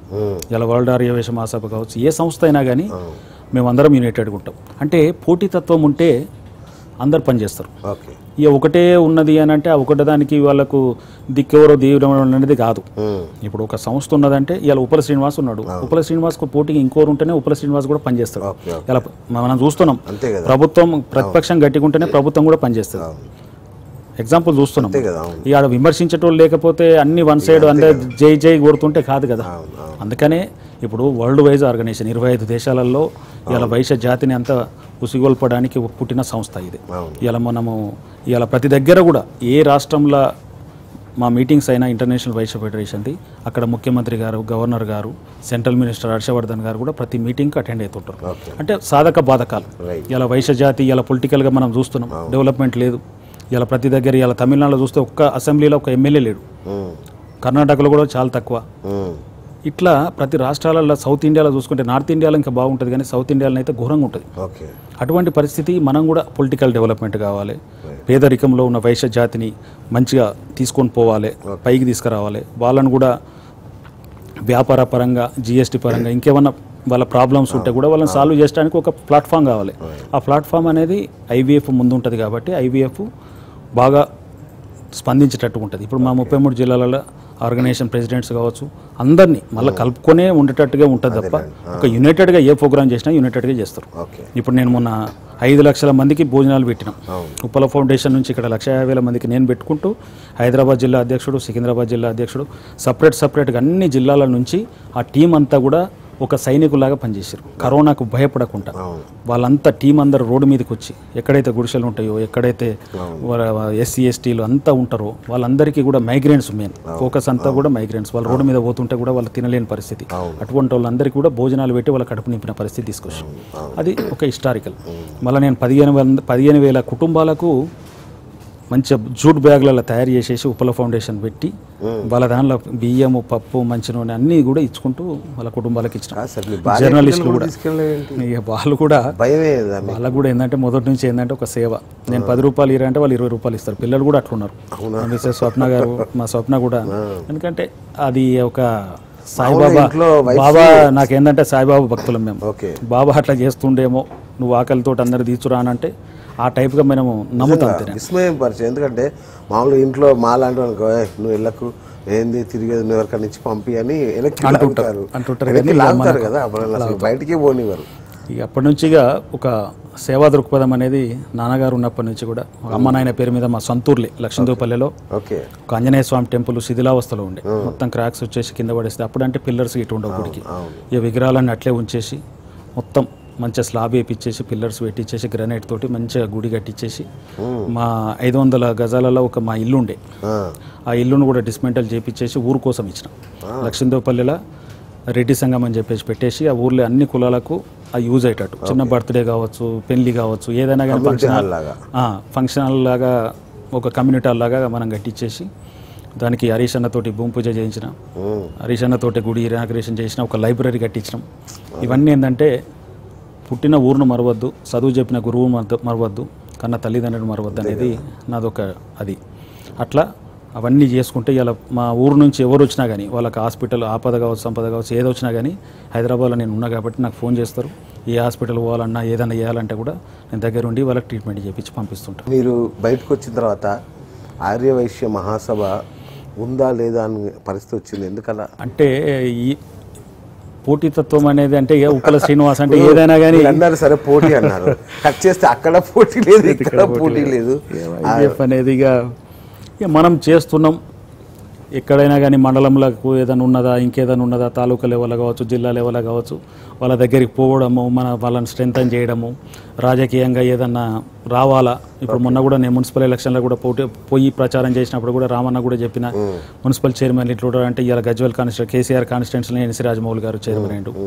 ఇలా మీరు దేవరకొండలో చూసుకుంటే నరసింహల గుప్తా గారు అయ్యారు చాలా మంది మున్సిపల్ చైర్మన్లు అయ్యారు ఇలా పది పన్నెండు మంది చైర్మన్లు అయినందుకు వైస్ చైర్మన్లు అయ్యారు డిప్యూటీ మేయర్లు అయినరు ఇట్లా ఇప్పుడు మన మేయరు ప్రకాష్ అని ఉన్నాడు వరంగల్ వరంగల్లో ఒక డైనమిక్ పర్సనాలిటీ మంచిగా చేస్తుంటూ అట్లా ఇవాళ తెలంగాణలో ఇలా వయసులకు ఏ పదవి ఇచ్చినా కానీ వన్నే తెచ్చే విధంగా. ఇవాళ ఎందుకంటే కేసీఆర్ గారు కూడా ఒక నమ్మకం. ఇలా బిగాల గణేష్ గుప్తా గారు కావచ్చు కోలేటి దామోదర్ కావచ్చు ఎవరికి ఏది ఇచ్చినా కానీ బొల్లం సంపత్ గారు కావచ్చు మురంశెట్టి రాములు గారు కావచ్చు టీటీడీ బోర్డు మెంబర్. ఇంత ఇన్ని పదవులు ఏ ముఖ్యమంత్రి ఇవ్వలే ఇవాళ కాంగ్రెస్ గవర్నమెంట్లో ఒక్క పార్టీకి ఒక వాళ్ళు నలుగురు ఐదు ఆస్పిరెంట్స్ ఉంటే కూడా ఒక్కరికి ఇవ్వలే. ఇప్పుడు ఇలా నూట పంతొమ్మిది కాన్స్టిట్యున్సీలలో ఒక్క వైశ్యునికి టికెట్ ఇచ్చిన గుణ లేదు వాళ్ళది. ఇక బీజేపీ పార్టీ ఇచ్చిందా అంటే ఎక్కడనో ఇక ఇచ్చేస్తే ఇక ఓడిపోయారు పాపం. ఇక అట్లని కాదు. అంటే జనరల్గా ఈ పార్టీ ఆ పార్టీ అని కాకుండా ఏ పార్టీలో అయినా కానీ కాంగ్రెస్ ఎవరిని కూడా చూడలేదు. ఇలా బీజేపీలో కూడా మంచి యాక్టివ్ మెంబర్స్ ఉన్నారు. వాళ్ళకు కూడా ఇంకా పదవులు అనేది ఇంకా పెద్ద పదవులు రాలే. చిన్న చిన్న బోర్డు మెంబర్ అది ఇది రావడం ముఖ్యం కాదు. ఇలా కేసీఆర్ గారు ఏంటంటే ఏ ముఖ్యమంత్రి చేయకుండా కానీ వైశ్యులు అంటే మొదటి నుంచి ఆయనకు అనుభవం. అనుభవం. అంటే ఆయనకు సపోర్టు. ఆయనకు ఆయన కూడా చెప్తాడు. ఆయన ఎంబడి తిరిగేటోళ్ళు కూడా వైశ్యాస్ ఉంటారు అప్పుడు. ఆయన ఎమ్మెల్యే ఉన్నప్పటి నుంచి ఇరవై ఐదేళ్ళ కింద కూడా సార్కు బాగా సపోర్ట్. మామూలుగా వైశ్యులు అంటే ఆర్య వైశ్యులు ఎవరు కూడా ఈ రాజకీయాల్లోకి రాకుండా ఎప్పుడు కూడా వెనక నుంచే నడిపిస్తుంటారు కదా మామూలుగా. అంటే కింగ్ మేకర్స్ ఉంటారు కదా. ఎందుకు కింగ్ అవ్వాలనుకుంటారు? ఇప్పుడు కొత్తగా ఇది ట్రెండ్? కింగ్ మేకర్స్ అనేది ఇలా ఓట్లు వేసేది మేమే. డబ్బులు ఇచ్చేది మేమే. డబ్బులు. ఉన్నోళ్ళు ఎస్ లాస్ట్కు ఏదైనా కానీ ఒక వైశ్యుడు చెప్తే ఒక వెయ్యి ఓట్లు పడతాయి. ఇవాళ ఒక రైస్ మిల్ ఓనర్ ఉండి చిన్న వాళ్ళ దగ్గర అమాలి పనిచేసే వాళ్ళు కావచ్చు రైతులు కావచ్చు అరే సావుకారు చెప్పిండ్రా మనం కారు గుర్తుకేద్దాం. ఇలా కేసీఆర్ గారిని గెలిపిద్దాం. అన్నట్టుగా అందరికి ఉంటుంది ఇలా ఊర్లో సావుకారు చెప్పిండంటే ఊరు మొత్తానికి అన్ని కులాలతో సంబంధాలు ఉంటాయి. ఊరికి అనధికార బ్యాంకు సావుకారులే అంతే కదా. యాభై ఏళ్ళ కింద మనకు బ్యాంకర్స్ లేవు బ్యాంక్ బ్యాంక్స్? లేవు. అప్పుడు ఆంధ్ర బ్యాంకు ఎస్బీహెచ్ ఇవన్నీ డబ్బులు ఇచ్చిన వాళ్ళే ఇచ్చిన అన్నిటికీ వాళ్ళే కాబట్టి వాళ్ళ పిల్లల పెళ్ళిళ్ళు కావాలన్నా ఏది కావాలన్నా కానీ ఫర్టిలైజర్ కావాలన్నా అప్పుడు ఇచ్చే ఇవ్వగానే మళ్ళీ పంటలు రాగానే మళ్ళీ తీసుకునే పరిస్థితి. మళ్ళీ మర్యాద పద్ధతి. మర్యాద పద్ధతి అంటే ఇప్పుడు డబ్బులు ఇచ్చినా ఇవ్వకున్నా కానీ ఇంట్రెస్ట్ ఏదో కొద్దో గొప్ప తీసుకొని అట్లా చేసుకుంటే ఆ పరిస్థితి ఉండే. అట్లా ఇదని అదని కాదు. ఇలా ఐవీఎఫ్ అనేది ఉప్పల శ్రీనివాస్ ఉన్నాడు కాబట్టి అంటే ఒక తపన. మనం ఒక పదవికి తీసుకున్నప్పుడు న్యాయం చేయాలి. అంటే వైశ్య జాతిని ఒక మేల్కొల్పాలి. ఇలా రాజకీయంగా ఆర్థికంగా ఎవరికి భయపడొద్దు. ఇంకా ఎన్ని రోజులు ఉంటాం? మనం రోడ్డు మీదకి రావాలి. భయపడకుండా మంది రావాలి. ఎందుకు బయటకు వచ్చారు అంటే నేను చదువుకున్న రోజులంటే ఒక లీడర్ లక్షణాలు ఉంటాయి నాకు. నేను కాలేజీలో గవర్నమెంట్ కాలేజ్ సిద్దిపేటలో చదువుకున్నప్పుడు కూడా. నేను తర్వాత ఎంఏ పొలిటికల్ సైన్స్ డిస్టెన్స్ చేసినప్పుడు కూడా నాకేంటంటే ఆ యూనివర్సిటీ ఆ యూత్ ఫాలోయింగ్ కావచ్చు అవన్నీ. అంటే మనం ఒక మనం ఎదగాలి మనతో పాటు ఒక పది మందిని డెవలప్ చేయాలి. ఓకే. అంటే కమ్యూనిటీ పరంగా డెవలప్మెంటే కాదు అన్ని కులాలతోటి సంబంధాలు ఉండాలి ఈ కులం ఆ కులం అని. అందరం ఉంటేనే ఎమ్మెల్యేగా గెలుస్తాం. ఓన్లీ కోమట్లు వేస్తే కూడా ఎమ్మెల్యేగా నిలబడితే కూడా గెలవం అట్లని కాదు. అందరితోటి సంబంధాలు ఉంటాయి. అందరికి ఒక మేల్కొల్పు విధంగా తీసుకురావాలన్నట్టుగా ఉంటుంది. ఎవరు వయసుల గురించి ఎవరన్నా మాట్లాడినా కానీ నేనే ముందుంటా. ఫస్ట్ మీ పేరే వినిపిస్తుంది అంతే ఇక ఉమ్. అట్లా. ఇప్పుడు ఎవరు అప్పుడు కోలాపూర్ చెప్పకూడదు ఆన్సర్ దాటేస్తున్నారు మెల్లిగా. బయటకు వచ్చేదని కాదు. ఇక మనకు ఉన్నది అట్లా. ఒక తపన ఒక చేయాలి ఇంకా. ఇది సరిపోదు. ఇంకా సరిపోదు. ఒక రాజకీయంగా ఒక ప్లాట్ఫామ్ కావాలి నాకు. ఒక కుర్చీ కావాలి. ఆ కుర్చీ ఇస్తే మనం ఏందనేది చూపిస్తాం. ఓకే. ఇవాళ సీఎం గారు కూడా ఏదైనా ఇచ్చినామనుకో ఇదా అదా అనేది కాదు. ఏది ఇచ్చినా. ఓకే. ఇవాళ ఉప్పల శ్రీనివాస్ గుప్తాకి ఇస్తే ఒక్కటి చెప్తే నేను పది చేసేటట్టుకుంటా. అట్లా చేస్తా సార్కు పేరు తెచ్చేటట్టుకుంటా. పార్టీకి పేరు తెచ్చేటట్టుకుంటా. మన ఎంపీ ఎలక్షన్స్ కావచ్చు అన్ని అన్ని ఎలక్షన్లలో కూడా మీరు నుంచి కొత్త ట్రబుల్ షూటర్ టీఆర్ఎస్లో ఎక్కడ ఏదైనా ఇష్యూ ఉందంటే సీన్ ఉన్న పో అంటే పెద్ద పెద్ద ఆశీర్వాదం అంతే. సీఎం గారు కేసీఆర్ గారు కేటీఆర్ గారు వాళ్ళు ఏది చెప్తే అది మనం ఒక సైనికుల లెక్క పనిచేయాలంతే. సో మొత్తానికి రాజకీయంగా మంచి ఊపు మీద సరే దానికైతే ఆన్సర్ వచ్చినట్టేనా? ఇప్పుడు ఆన్సర్ వచ్చినట్టే కదా. తపన. ఇంకా చేయాలి. ఇంకా అంటే మన డబ్బులతోటి ఫౌండేషన్ నుంచో ఐవీఎఫ్ నుంచో మనం చేయడం కాదు. ఇప్పుడు ఐవీఎఫ్లో పద్దెనిమిది మందికి ఐఏఎస్ ఐపీఎస్ చదివే వాళ్ళకు సివిల్స్ ప్రిపేర్ అయ్యే వాళ్ళకు ప్రైమరీ పాస్ అయిన వాళ్ళకు లక్ష లక్ష రూపాయలు నాన్ రిఫండబుల్ ఫండ్ కింద ఇస్తున్నాం. ఇలా మన తెలంగాణ నుంచి ఒక వంద మందికి ఇవ్వడానికి మనకు ఫండ్ ఉంది. కోటి రూపాయలు ఇచ్చేసి వాళ్ళకి ఇవ్వాలన్నట్టు కానీ మన వైశ్య కులంలో తక్కువ ఉంటారు. ఇంకా తెలియదు ఎంతమంది చదివితే వాళ్ళకు ఇంకా మామూలుగా అంత డిగ్రీ అనో ఎంబీబీఎస్ అనో బీటెక్ ఇంజనీరింగ్ అనో అట్లా ఆ- ఆ లెవెల్లో సీఏ కావచ్చు. అట్లా చదువుకుంటూ పోతారు కానీ ఐఏఎస్ ప్రిపేర్ అయ్యే వాళ్ళు చాలా తక్కువ ఉన్నారు. వాళ్ళకు కూడా ఒక మోరల్ సపోర్ట్. ఇంకా అన్ని విధాలలో వాళ్ళకు అడాప్ట్ చేసుకొని చదివిపిస్తుంటాయి. ఇక ఉపల ఫౌండేషన్ నుంచి మీకు తెలుసు. అన్ని కార్యక్రమాలు చేస్తుంటాయి ఎంతో మందికి మళ్ళా కొమరవెల్లి టెంపుల్ ఆపోజిట్లో రమణాచారి గారు పెట్టిన ఆనంద నిలయం ఉంటుంది. దానిలో కూడా నేను ఒక ట్రస్టీగా రూమ్ డోనర్గా రమణాచారి గారు చెప్పగానే ఓల్డ్ ఏజ్ హోమ్ అందులో ఆర్ఫనేజ్ ఉంటుంది ఓల్డ్ ఏజ్ హోమ్ ఉంటుంది. వాళ్ళకు ఒక రిసార్ట్స్లో ఉన్న ఫీలింగ్ ఉంటుంది అక్కడ. అంత మంచి అంటే ఈ పేదరికంలో ఏదైనా ఉండని. నా దగ్గరికి వచ్చిన వాళ్ళు ఎవరికైనా కానీ వాళ్ళకి బియ్యమా పప్ప ఏదో వెళ్ళిపోయినా కానీ డబ్బు రూపకంగా వాళ్ళని అడాప్ట్ చేసుకొని చదివిపించడం నోట్ బుక్స్ ప్రింట్ చేసి పంపిస్తా గవర్నమెంట్ స్కూళ్ళల్లో అనాథ పిల్లలు అంటే కూడా వాళ్ళంతా కూడా బాగా వాళ్ళకి దుప్పట్లు పంపిణీ వాళ్ళకి ఫ్యాన్ల ఇంకేమైనా ప్రాబ్లమ్స్ ఉన్నాయా వాళ్ళకి ఫీజు ప్రాబ్లమా ఏదైనా కానీ ఏదైనా సరే. ఉంటుంది నాకు. ఏదన్నా చందాలు అట్లా సేకరిస్తారా? మొత్తం సొంత డబ్బు సొంత డబ్బు. ఒక ఐదు వేల రూపాయలు కూడా ఇక్కడ కూడా నేను తీసుకున్న ఉండదు. ఉండదు. అదే నాకు తెలుసు చరిత్ర లేదు. ఇంకా డౌట్ ఉంది నాకు నాకు నేను ఎవ్వరి దగ్గర కూడా క్వింటల్ బియ్యం తీసుకొచ్చి మన బియ్యం పంచలే అంతా సొంత డబ్బు సొంత ఖర్చులు సొంత ఓన్లీ ఉప్పల శ్రీనివాస్ గుప్తా అమౌంట్ అంతే. అంతే. మన కష్టార్జితం. ఏ ఎన్ఆర్ఐ ఫండ్ ఈ నుంచి వచ్చినాయో వాళ్ళంతా ఫ్రెండ్స్ ఫోన్ చేస్తారు ఫోన్ చేసినా కానీ కోట్ల రూపాయలు ఖర్చు పెడుతున్నాడంటే ఏదో ఉండుంటుంది ఎవరి దగ్గర సేకరించి కదా. సొంత డబ్బులు చాలా మందికి కూడా తెలుసు అది ఎందుకంటే ఉప్పల శ్రీనివాస్ అంటే అగ్గి అని తెలుసు. మనం ఎక్కడ కూడా ఇప్పుడు మన వాసవి హాస్పిటల్లో ఉంటా నేను ట్రె- ట్రెజరర్గా చెక్ పవర్. పదివేల రూపాయలు ట్రీట్మెంట్ చేసుకున్నా కానీ పదివేల రూపాయలు బిల్లు కట్టి వస్తా కానీ ఎక్కడ కూడా నేను తీసుకునేది ఉండదు. నేను ఖాళీ టీ కూడా ఏదైనా టిఫిన్ కావాలంటే కూడా నేను వంద రూపాయలు ఇచ్చేసి నేను టిఫిన్ తెచ్చుకుంటా. అంతే. అంటే ఉపల అంటే ఆ పేరు ఉన్నది మనకు. ఇప్పుడు ఏ ముషిరాబాద్ వైస్ హాస్టల్ రోషయ్య గారి పేరు మీద గెస్ట్ హౌస్ ఉంది. దాని కూడా నేను ఆర్గనైజ్ సెక్రటరీ ఉన్నా. కాచిగూడ వైస్ హాస్టల్లో నేను నేను చదువుకొని దాంట్లోనే ఇప్పుడు రూమ్ డోనర్గా ఉన్నా దాంట్లో. ట్రస్టీ మెంబర్గా. అప్పుడు నేను తెలుసు. మన సీతయ్య గుప్తా గారు కట్టిన హాస్టల్ అది. ఆయన కూడా ఎమ్మెల్యేగా చేసిండు. స్వాతంత్ర సమరయోధుడు. అటువంటి అతనితో నేను రికమెండ్ తోటి సీట్ తీసుకున్నా. అదే హాస్టల్లో నేను చదువుకొని ఇవాళ ఒక నేను డబ్బులు నాలుగు రూపాయలు సంపాదించిన తర్వాత నేను కూడా ఎందుకు చేయొద్దు? నేను చదువుకున్న హాస్టల్. అందుకని చెప్పేసి అలా రూమ్ డోనర్గా నా పేరు ఉంటుంది అక్కడ ఉప్పల శ్రీనివాస్ గుప్తా. రోషయ్య గారితో మీకు మంచి అనుబంధం అంటారు? ఎట్లా? ఆయనతో? అప్పుడు కాంగ్రెస్ పార్టీలు ఉన్నప్పుడు కూడా పెద్ద ఆయన తోటి ఆయన ఈ పార్టీ ఆ పార్టీ అనేది కాదు. అన్ని అందరితోటి మంచిగా ఉంటాడు పెద్ద మనిషి. మన ఒక నాయనలాగా మనం చూసుకుంటాం. ఇలా ఒక భీష్మ పితామహుడు. ఎందుకంటే ఒక మచ్చలేని నాయకుడు. ఆయన గవర్నర్గా చేసిన సీఎంగా చేసినా కానీ కులంకే కాదు అందరికీ మంచి వ్యక్తి మంచి ఒక మంచి స్పీకరు. ఆయనకి ఏమి ఇవ్వాలి అసెంబ్లీలో రాజశేఖర రెడ్డి గారు ఉన్నప్పుడు ఆయనకు అప్పచెప్పిండంటే అసెంబ్లీని మొత్తం దుమ్ము దులిపేది. ఆపోజిట్ ఎవరైనా మాట్లాడినా కానీ దానికి తగ్గట్టుగా ఆయన సమాధానం చెప్పేది. అటువంటి నాయకుడు కాబట్టి ఇలా కాంగ్రెస్ పార్టీ వాళ్ళకి మంచి అది ఇచ్చింది. ఇప్పటికైనా కానీ అందరికీ అనుకూలంగా ఉంటాడు. ఎవరు పోయినా కానీ ఎవరు పిలిచినా కానీ వస్తాడు. ఇలా మనం చూస్తున్నాం ఏ కార్యక్రమాలైనా వైశ్య వైశ్యుల కార్యక్రమాలకైతే ప్రతి చిన్న కార్యక్రమమైనా వస్తాడు మనం అన్నీ చర్చించుకున్నాం. సో మీ మీ బాల్యం అసలు మీ ఎక్కడి నుంచి ఏంటి మీ ప్రస్థానం? లక్ష్మీదేవపల్లిలో అంటే మా నాన్న ఊరికి ఇరవై నాలుగు మంది వైశ్యాస్ ఉంటే పెద్ద కుమ్మటి అంటారు కదా? మాదే. ఊర్లో బతుకమ్మ కూడా సపోర్ట్ తోటి మా బతుకమ్మ వచ్చిన తర్వాతనే హనుమాన్ల గుడి దగ్గరికి అందరు బతుకమ్మలు వచ్చేది. అట్లా ఆ ఊర్లో ఉన్నప్పటి నుంచి పెద్ద మనిషిగా. ఇప్పుడు ఆయన ఒక పంచాయతీ ఎవరన్నా ఇద్దరు కలిసి తీసుకపోతే ఏది న్యాయం ఉంటుందో ఆ న్యాయం చెప్పేది. అంటే మాతోటి కూడా చెప్పేది. మనం ఆ, పెదరాయి టైప్ ఏది న్యాయం ఉంటుందో అది చేయాలరా అని చెప్పేసి మాకు కూడా చెప్పేది. ఆయన ఆశీర్వాదమే. ఇవాళ ఆయనే బిడ్డగా మనం ఆయన తండ్రికి తగ్గ కొడుకు అన్నట్టుగా ఆయనకు పేరు తెచ్చే విధంగా. ఇవాళ ఏంటంటే నాకు అమ్మ నాన్న లేరు అనేది ఒక బాధ. ఇవాళ తల్లిదండ్రులు ఉంటే ఒక మంచి ఇంత డెవలప్మెంట్ అయినందుకు అన్నీ చూసిండు కష్టం సుఖం అన్నీ చూసిండు. ఈ లాస్ట్ మూమెంట్లో ఈ సుఖంని చూడలే. ఇది అట్లా అయ్యేసరికి కొంచెం బాధ అనిపిస్తుంది. కాకపోతే ఏంటంటే అందుకే నేను ఎందుకంటే ఏమని చెప్తా అంటే ఎవరైనా కానీ తల్లిదండ్రులను ఓల్డేజ్ హోమ్లో పెట్టద్దు. ఆడబిడ్డ పుట్టిందని చెప్పేసి మనం ఎక్కడనో ఇక చెత్త కుప్పలను అట్టి ఇట్లా పడేస్తుంటారు. ఆడబిడ్డ పుట్టినా కానీ ఇవాళ మనం చూస్తున్నాం. పెళ్ళిళ్ళు చేయాలంటే అమ్మాయి దొరకడం కష్టమైంది. ఉల్టా ఇచ్చేసి కట్నాలు పోయినాయి. ఆ కట్నాలు అనేది ఆ సాంప్రదాయం అంతా పోయింది. ఇలా అమ్మాయి మంచిగా చదువుకున్న అమ్మాయి మంచి కుటుంబం ఉన్న ఫ్యామిలీ ఉన్న బ్యాక్గ్రౌండ్ చూసేసి అలా అమ్మాయిని పెళ్ళి చేసుకొని ఉల్టా మగ పిల్లవాళ్ళే పెళ్ళి చేయించేసి ఖర్చు అంతా వాళ్ళే పెట్టుకొని ఫంక్షన్ హాల్ అన్ని పెట్టేసుకుని అమ్మాయిని పెళ్ళి చేసుకునే పరిస్థితి వచ్చింది.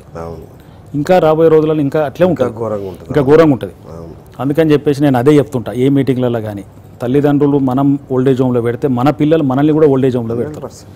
అందుకని ఆ- ఆ సాంప్రదాయాన్ని విడనాడాలి. ఇవాళ కల్చరల్ కల్చర్ ఎట్లయిపోయిందంటే ఇవాళ ఓల్డేజ్ హోమ్లో ఒక కమర్షియల్గా బిజినెస్ అయిపోయింది అది. ఒక్కొక్కరికి ఇరవై వేలు సంపాదించడం ఒక్కొక్క ఒక తీసుకొని పోతే ఇక వాళ్ళకి హాస్పిటల్ అని అదని ఇదని.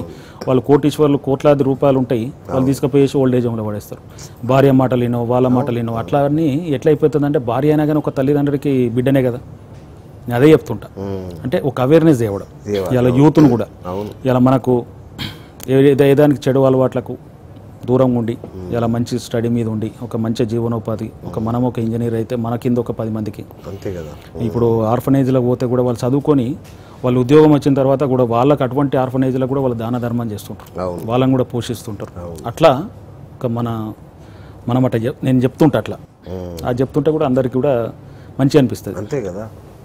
మంచి విషయాలు అంద అంద- అందున మీలాంటి వాళ్ళు చెప్తే తొందరగా ఎక్కుతుంది. తొందరగా ఉంటుంది. నేను ఆచరించి చూపేవాడికి చెప్పారు. అది బాగుంటుంది. అదే ఏదో మనం చెప్పేది అయ్యగారు ఉల్లిగడ్డ శాస్త్రం కాదు. ఉల్లిగడ్డలు తినకమని చెప్పినా కానీ ఇంట్లో తినకమని మనకొద్ద శాస్త్రాలు కాదు. మనం చేసి చూపెడతాం కాబట్టి అందరికీ. యూత్లో కూడా ఒక మంచి నాయకునిగా యూత్కి ఏం సలహా ఇస్తారు? అందరికీ. యూత్ యూత్ అంతే కూడా మనం ఏంటంటే చదువుకొని బాగుపడాలి. మంచి ఉద్యోగం వచ్చిన తర్వాత ఒక సేవ. ఇలా మనము వచ్చిన ఒక లక్ష రూపాయలు జీతం వస్తే ఒక పదివేల రూపాయలు ఖర్చు ఒకటి ఒక టెన్ పర్సెంట్ మనం సంపాదించిన దానిలో ఒక పది పర్సెంట్ ఖర్చు చేసినా కానీ. లేనోళ్ళు పేదరికంతో బాధపడరు. ఇలా ప్రభుత్వం ఎంతో చేస్తుంది. ఇలా పెన్షన్ కావచ్చు రైతు బంధు పథకం కావచ్చు రూపాయి కిలో బియ్యం కావచ్చు ఇరవై నాలుగు గంటల కరెంటు కావచ్చు. ఇలా కేసీఆర్ గారు వచ్చిన తర్వాత ఊర్లన్నీ బాగుపడ్డాయి. ఇవాళ డ్రైనేజ్ సిస్టమ్ కావచ్చు రోడ్లు కావచ్చు పల్లెటూరు పోతే "ఆహా, ఇది పల్లెటూరేనా? అన్నట్టుగా ఉన్నది. అవును. ఇలా మనం అప్పుడు ఉమ్మడి రాష్ట్రంలో ఎంతో మోసపోయినాం. ఫండ్స్ అన్నీ అటే పోయేది. అటు ఆంధ్ర రాయలసీమ. తెలంగాణకు మొత్తం అన్యాయం జరిగింది. కేసీఆర్ గారు అప్పుడు ప్రతిపక్షంలో ఉన్నప్పుడు కూడా ఎన్నో రకాల బాధపడి అది చేసినా కానీ ఆయన చేతిలో ఇవాళ పద పవర్ ఉంది కాబట్టి ఆ పవర్ను మొత్తం ఈ పది జిల్లాలు పాత పది జిల్లాలన్నింటినీ ఒక సస్యశ్యామలంగా చేస్తాడు ఇవాళ కేసీఆర్ గారు చేసిన పని ఏ ముఖ్యమంత్రి చేస్తలేడు. ఇవాళ అందుకే సెకండ్ టైం రావడం తొంభై సీట్లు రావడం అంత ఈజీ కాదు. ఇలా మళ్ళీ ఇరవై ఏళ్ళు మా ఈ ముఖ్యమంత్రి మాకు కావాలని చెప్పేసి ఇలా జనమంతా జేజేలు వలుకుతారు. అటువంటి పరిస్థితి ఉంటుంది. ఇలా ప్రతిపక్షం ఏముంది? కాంగ్రెస్ అడ్రస్ ఉండదు బీజేపీ అడ్రస్ ఉండదు. ఇలా మోడీ గారు ఉన్నా కానీ దేశంలో సెకండ్ టైం మోడీ గారు గెలిచిరు గెలిచిన తర్వాత ఇలా బీజేపీ పరిస్థితి ఏముంది తెలంగాణలో?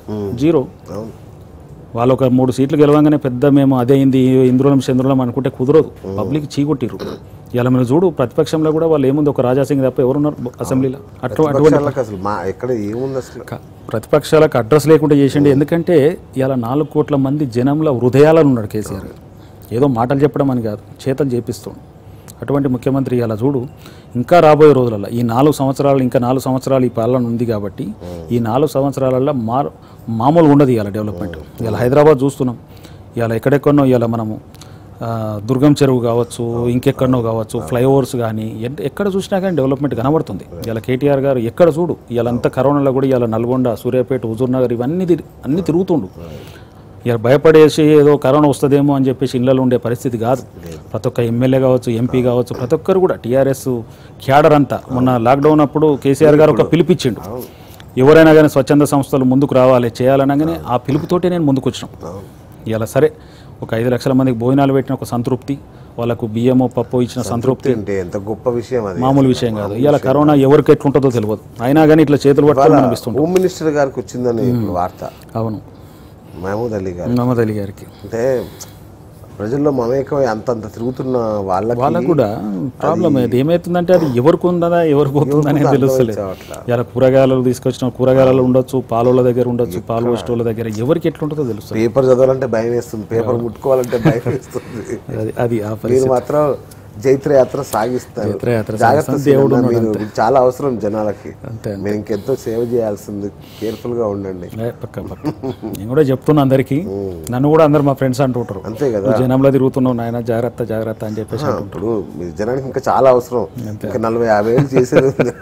మీ దగ్గర అంతా పిండి వేసుకోవాలి కదా జనం. రైట్ ఐవీఎఫ్ నుంచి ఇంతవరకు ఏమేమి చేశారన్న? ఇప్పుడు ఐవీఎఫ్ నుంచి అన్ని జిల్లాల ఒక గ్రామ స్థాయి నుంచి. గ్రామ స్థాయి నుంచి ఢిల్లీ స్థాయి వరకు వైశ్య జాతిని అంతా ఒక మంచి స్ట్రాంగ్ ఓకే. స్ట్రాంగ్గా మనం పెట్టేసి అంటే వైశ్యులం ఇట్లా పేదోళ్ళు ఎంతమంది ఉన్నారు మీడియం క్లాస్ ఎట్లున్నారు హై క్లాస్ ఎట్లున్నారు అట్లా కూడా ఉంటాయి. ఓకే. ఆ విధంగా మనం ప్రతి ఒక్క జిల్లా నుంచి తీసుకొని ఆ జిల్లాల నుంచి అందరినీ ఇవాళ నార్త్ ఇండియా సౌత్ ఇండియాని కలిపే విధంగా. ఇప్పుడు ఇక్కడ ఏదైనా ప్రాబ్లమ్స్ ఉన్నాయి సెంట్రల్ లెవెల్లో కూడా మనకు national level president Ashok Agarwal గారు ఉన్నారు. ఈజ్ ఫ్రమ్ బీజేపీ ఓకే ఈయన all India pollution control board member వాళ్ళ నాన్నగారు రామ్దాస్ అగర్వాల్ గారు పెట్టిన సంస్థ ఇది. ఆయన four times Rajya Sabha MP. National బాడీలో బీజేపీలో ట్రెజరర్గా పనిచేసిండు. అతను ఒక స్టేజ్లో తెలంగాణకో ఆంధ్రప్రదేశ్కో గవర్నర్గా కూడా వస్తాడనేది ఒక టాక్ ఉండే. అటువంటి పరిస్థితుల్లో పాపం అనుకోకుండా ఆయన చనిపోవడం.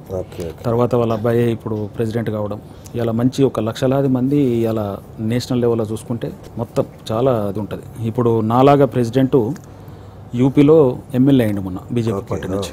అట్లా మంచి ఆర్గనైజేషన్ కాబట్టి సివిల్స్ కానీ ఇంకేదన్నా ఉన్నా అన్నిటికీ ప్రిపేర్ అయ్యే వాళ్ళకు ఒక ఎంబీబీఎస్ చదివే వాళ్ళకు కూడా అడాప్ట్ చేసుకున్నాడు. ఇవన్నీ చేస్తున్నాం మనం. సో ఇప్పుడు వైశ్యులకు ఏమైనా కావాలంటే. ఐవీఎఫ్ ఇంకా వేరే ఏం కనిపించట్లేదు ఉన్నాయేమో తెలియదు. మనం చేయడం మరి కాదు సీనియర్లో పుణ్యం అని ఇంకేం కనబడ అందరం అందరం అన్ని ఆర్గనైజేషన్స్ అన్నదమ్ములం అంతే. ఈ ఆర్గనైజేషన్ వేరు ఆ ఆర్గనైజేషన్ వేరు కాదు. వీఆర్ యునైటెడ్ నీకు అందుకే చెప్పిన ఎక్కడికి పోయినా కానీ మేమంతా కలిసే ఉంటాం. రేపు కేసీఆర్ గారు నిజమో కాదు నాకు తెలియదు కానీ వాళ్ళకి మీకు బాగా యుద్ధం నడుస్తుంది వార్ నడుస్తే ఏముండదు బలంగా విన్నా మరి. యుద్ధం ఉండదు ప్రేమ ప్రేమ అనేది కాదు. అందరం ఒకటే. ఈ సంస్థ ఏంది ఆ సంస్థ ఏంది అందరం అన్నదమ్ములు లెక్క అదే అంటున్నా ఇప్పుడు. వాళ్ళకి చేసే దానికోసమే అది. ఏం చేసినా మీరు చేసినా వాళ్ళు చేసినా. అందరి కోసమే. పేద వయసుల కోసం.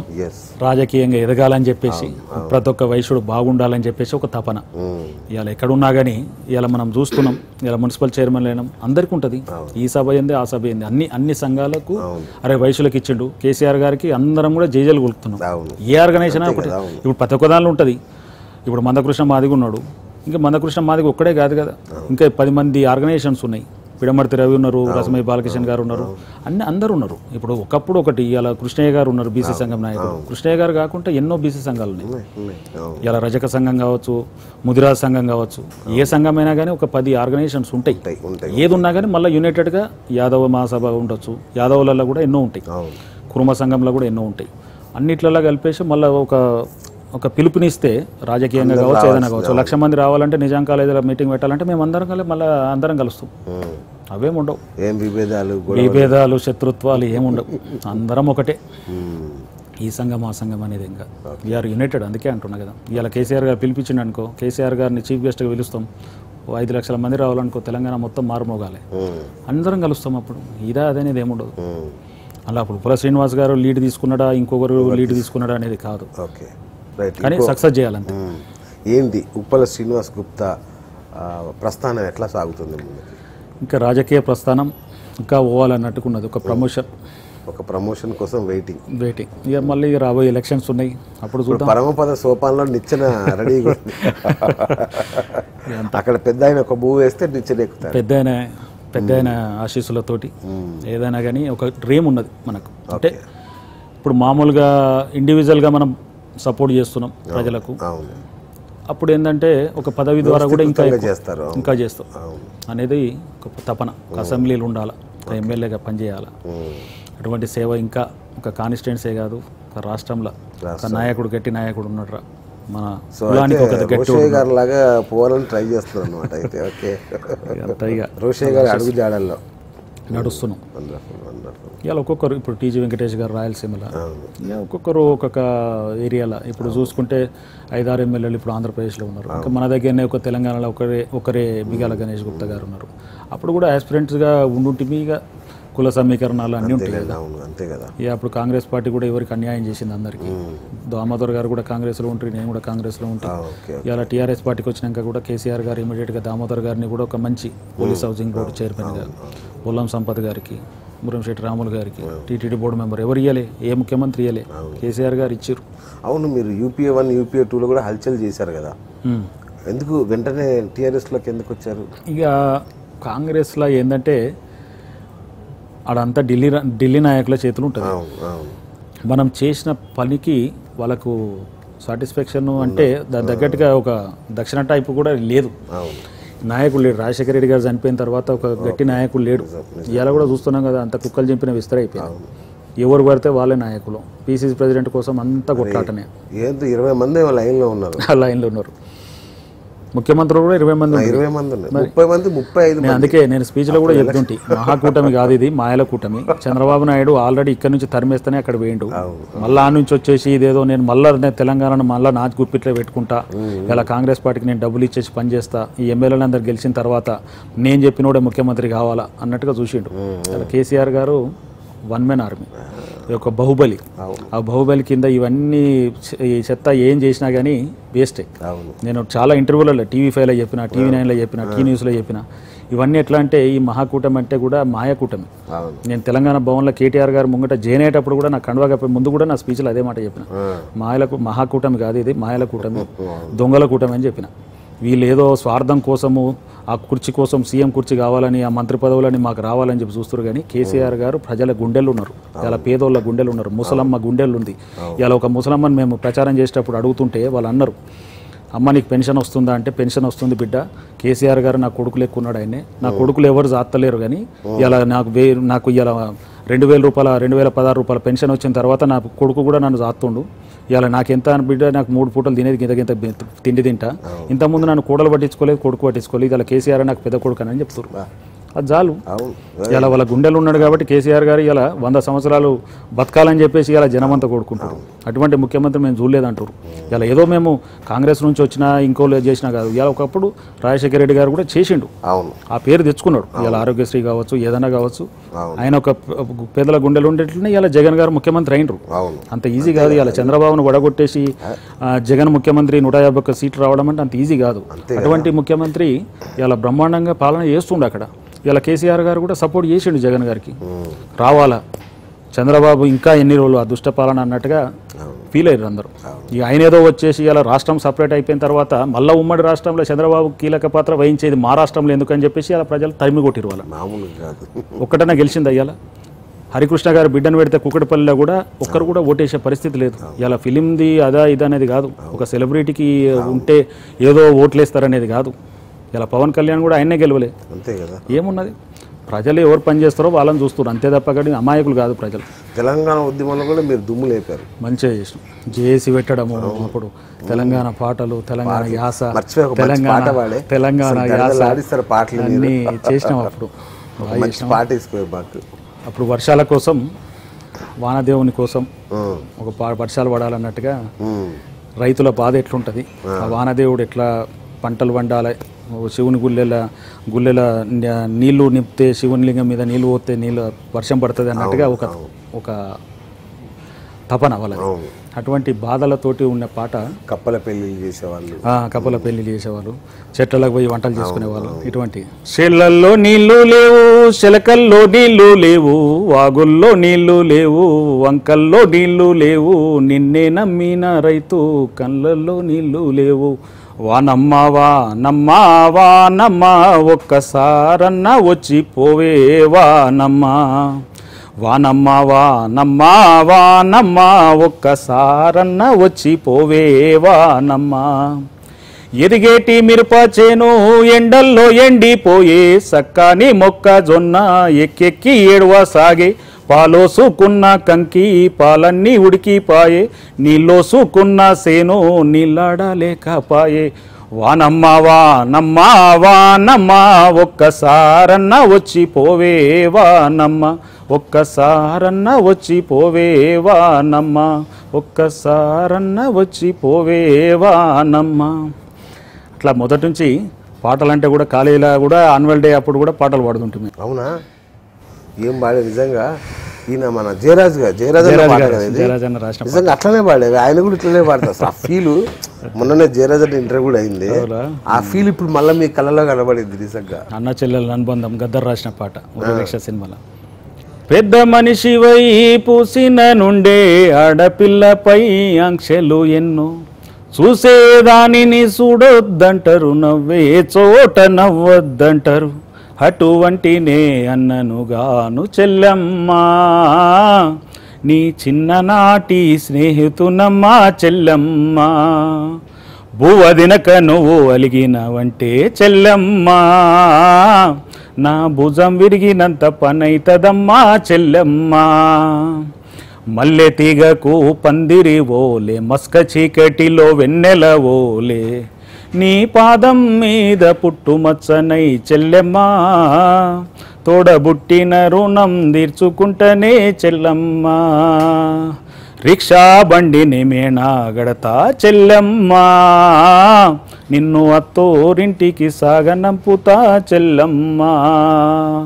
చదివినంత నిన్ను చదివిస్తానమ్మా ఎదిగినంత నిన్ను ఎదిగిస్తానమ్మా. నీకు పెళ్ళీడు వచ్చే నాటికి పువ్వో పత్రో కూడబెట్టుతా నచ్చినో నీకే ఇస్తానమ్మా చెల్లెమ్మా. నిన్ను అత్తోరింటికి సాగనంపుతా చెల్లెమ్మా. నిన్ను అత్తోరింటికి సాగనంపుతా చెల్లెమ్మా. సో ఇదంతా సామాజిక స్పృహతో. దానికోసం ఈ పాటలు అంతేనా? మీరు సింగర్ తెలంగాణ అంటే అప్పుడు మొదటి నుంచి నాకు గద్దర్ పాటలన్నా విప్లవ పాటలన్నా ఎర్రజెండా అన్న ఒక భావాలు విప్లవ భావాలు నాకు ఉండేటి. నేను చదువుకున్న రోజులల్లో కూడా ఆ విప్లవ అంటే ఒక శ్రీశ్రీ కావచ్చు వీళ్ళంతా ఆ పుస్తకాలు చదువుతుంటే కూడా ఆ భావాలు అనేది ఉండే. అంటే మంచి పాలన బాగుండాలి పేదలు కూడా బాగుండాలి అనేది ఒక తపన. అంటే ఈ కులం ఆ కులం అనేది కాదు. ఓన్లీ వైశ్యాస్ అనేది నేను ఎప్పుడు కూడా అన్నదరితోటి అదే అంటే కాకపోతే కులం తరపున వైశ్యులు బాగుండాలనేది నాకు కోరుకుంటుంది. బ్రహ్మాండం. అయితే మామూలుగా వయసులు అనగానే డబ్బులు దొబ్బేస్తారు డబ్బులు. ఇదే కాదు మీరేంటన్నా మొత్తం రివర్స్ అందరూ. డబ్బులు వెద జల్లుతున్నారు. అసలు అంటే బయటికి తీయడం చాలా కష్టం కదా మనము అవన్నీ వెనకట్టు ఉండే సీన్. ఇప్పుడు అట్లా లేదు. ఎప్పుడో తాతలప్పుడు కోమట్లు అంటే పిసినారి కావచ్చు అని అనుకుంటారు. అది కొందరికి ఉంటుంది కానీ అట్లా లేదు ఇప్పుడు. ఈ జనరేషన్ అంతా ఈ మనం ట్వంటీ ఇయర్స్ బ్యాక్ నుంచి మీరు పోయినా కానీ ఎక్కడ చూడు. ఇవాళ ఒక గుడి కట్టాలన్నా బడి కట్టాలన్నా ఏ అన్నదానం చేయాలన్నా కానీ వైశ్యుల పాత్ర కీలకంగా ఉంటుంది. ఇక్కడనే కాదు ప్రపంచం మొత్తంలో. ఇవాళ అమెరికాలో ఒక వైశ్యుడు ఉంటే ఆ గల్లీలో ఏదో సాయిబాబా గుడో వెంకటేశ్వర స్వామి గుడో కట్టి పరిస్థితి ఉంటుంది. వాళ్ళందరినీ పోగు చేసేది వైశ్యుడే. ఇవాళ బ్రాహ్మణుడు పూజ చేస్తే వైశ్యుడు గుడి కడతాడు. నువ్వు ఏ గుడన్నా చూడు తెలంగాణలో ఎక్కడన్నా చూడు వైశ్యులో చెయ్యి కనబడుతుంది. అంటే ఏదో కులం తరపున నేను గొప్ప చెప్పుకోవడం కానీ కాదు అందరూ అంటారు మాట. ప్రతి ఒక్క కులం అంటది. అరే వైశ్యులు రా వాళ్ళు ఏదో దానంలా ధర్మంలా అన్నిట్లలో ముందుంటారు. పంచాయతీ అంటే వెనక పోతారు. మాకెందుకులే? అన్నట్టు ఉంటారు కాబట్టి ఇలా రాజకీయంగా ఒక సర్పంచ్ స్థాయి నుంచి మొదలు పెడితే ఒక ఎంపీ ఎమ్మెల్యే స్థాయి వరకు కూడా మాకెందుకులే రాజకీయం అన్నట్టుగా ఇంతకుముందు ఉండే. ఇప్పుడున్న జనరేషన్ ఇలా యూత్ ఏదో ఒకటి కావాలి. ఇలా ఉప్పల శ్రీనివాస్ గారు అసెంబ్లీలో కూర్చోవాలి. ఉప్పల శ్రీనివాస్ గారు పార్లమెంట్లో కూర్చోవాలి. ఆయన చేస్తే వడ్డించోడు మనోడు అయితే బిర్యానీ ఎక్కడైనా ఉంచగానే పెడతాడు. అనేది ఇలా మామూలుగానే చేస్తుండే ఒక వ్యక్తిగా రేపు ఇంకా శక్తి అవుతాడు అనేది అందరికి ఉంటుంది. అంతేందుకండి? ఇప్పుడు మన వరంగల్లో శతచండి సహస్ర శతచండి యాగం చేశారు శ్రీనివాస్ గారు. శ్రీనివాస్ గారు. బాగా చేసిండ్రు. మేయర్ గారు కూడా బ్రహ్మాండంగా కోట్ల రూపాయల ఖర్చు ఖర్చు పెట్టాడు. అంటే దేశమంతా బాగుండాలి. సుఖశాంతులతో ఉండాలి. ఇలా మనం చూస్తున్నాం కరోనా గురించి నేను పొద్దున్న లేస్తే సాయిబాబా గురువారం గురువారం పూజ చేసినప్పుడల్లా నేను ముక్త. అభిషేకం కూడా చేసిన మా ఇంట్లో. కరోనా పారదూరాలి ప్రపంచంలో ఉన్న వాళ్ళంతా బాగుండాలి. ఒక మన తెలంగాణ కోసమే కాదు అందరూ ప్రపంచంలో ఉన్న కోట్లాది మంది ఈ కరోనా బారిన పడొద్దు ఈ కరోనా మహమ్మారి పోవాలి అని చెప్పేసి మనం మొక్కుతున్నాం దేవునికి. ఇలా వెంకటేశ్వర స్వామికి సాయిబాబాకు ప్రతి ఒక్కరు కూడా. ఇలా చిన్నజీర స్వామి గారు కూడా చూస్తున్నాం రాజులు చేసే యాగాలు యాగాలు. అంతే కదా. ఒక్క వ్యక్తి చేశాడు. శ్రీనివాస్. శ్రీనివాస్ గారు శ్రీనివాస్ కూడా బ్రహ్మాండంగా చేసిండు. వరంగల్లో జనం అంతా వచ్చిర్రు అంత ఎప్పుడు జరగలేదండి ఎవరు చేయలేదు ఎవరు చేయలేదు. శ్రీనివాస్ గారు అంటే అదే అంటున్నా ఏది చేసినా కానీ మళ్ళీ వయసులే ముందుంటారు. అదొకటి ఉంటుంది. బ్రాహ్మణులైనా అందేనే కానీ అందరినీ పిలుచుకుంటూ అందరితోటి. ఇలా ఏ కళ్యాణాలైనా ఏ పెళ్ళిళ్ళైనా కానీ వయసులది పాత్ర ఉంటుంది. అవును వరంగల్లో కూడా అంటే మీరు ఇప్పుడు చెప్తే గుర్తొచ్చింది. మీరు ఎట్లయితే బ్రాహ్మిన్స్ అందరికీ ఇచ్చారో శ్రీనివాస్ గారు కూడా అక్కడ వరంగల్ జిల్లాలో ఉన్న బ్రాహ్మిన్స్ అందరికీ కూడా అవును. అది చూసాను నేను, అది కూడా చెప్పిండు. నేను కూడా పోయేది లాస్ట్ మూమెంట్లో అప్పుడు ఇంట్లో ఫంక్షన్ ఉండేసరికి పోలేకపోయినా. ఓకే ఓకే ఓకే నేను కూడా రమ్మని చెప్పాడు సీనన్న. బాగా చేసిండు వరంగల్లో కూడా చాలా మంది అందరు వచ్చారు. ఎమ్మెల్యేలు గిట్ట అందరు వచ్చారు. మంత్రులు ఎక్కడ అందరు వచ్చి అసలు వారం రోజులు ఒక పండగ. పండగ చేశాడు. పెద్ద ఎత్తున పూజ యాగం బాగా చేశాడు. ఎందుకంటే ఇక ఇట్లుంటేనే ఈ భక్తి మార్గం ఉంటేనే ఇలా అంత సుఖశాంతం ఉంటుంది. ఇలా కేసీఆర్ గారు కూడా ఎంత మంచిగా చేస్తుండు మొన్న కూడా కాళేశ్వరంది ప్రాజెక్ట్ ఓపెన్ చేసుకుంటూ కూడా గజ్వెల్ దగ్గర అది చేసుకుంటూ కూడా యాగం చేసిండు. అంటే బాగుండాలి అందరూ. ఇలా తెలంగాణ ప్రజలే కాకుండా ఈ కరోనా మహమ్మారి కూడా పోవాలన్నట్టుగా ఒక శాంతియుతంగా ఉండాలి దేశం అని చెప్పేసి ఆయనకు ఒక తపన.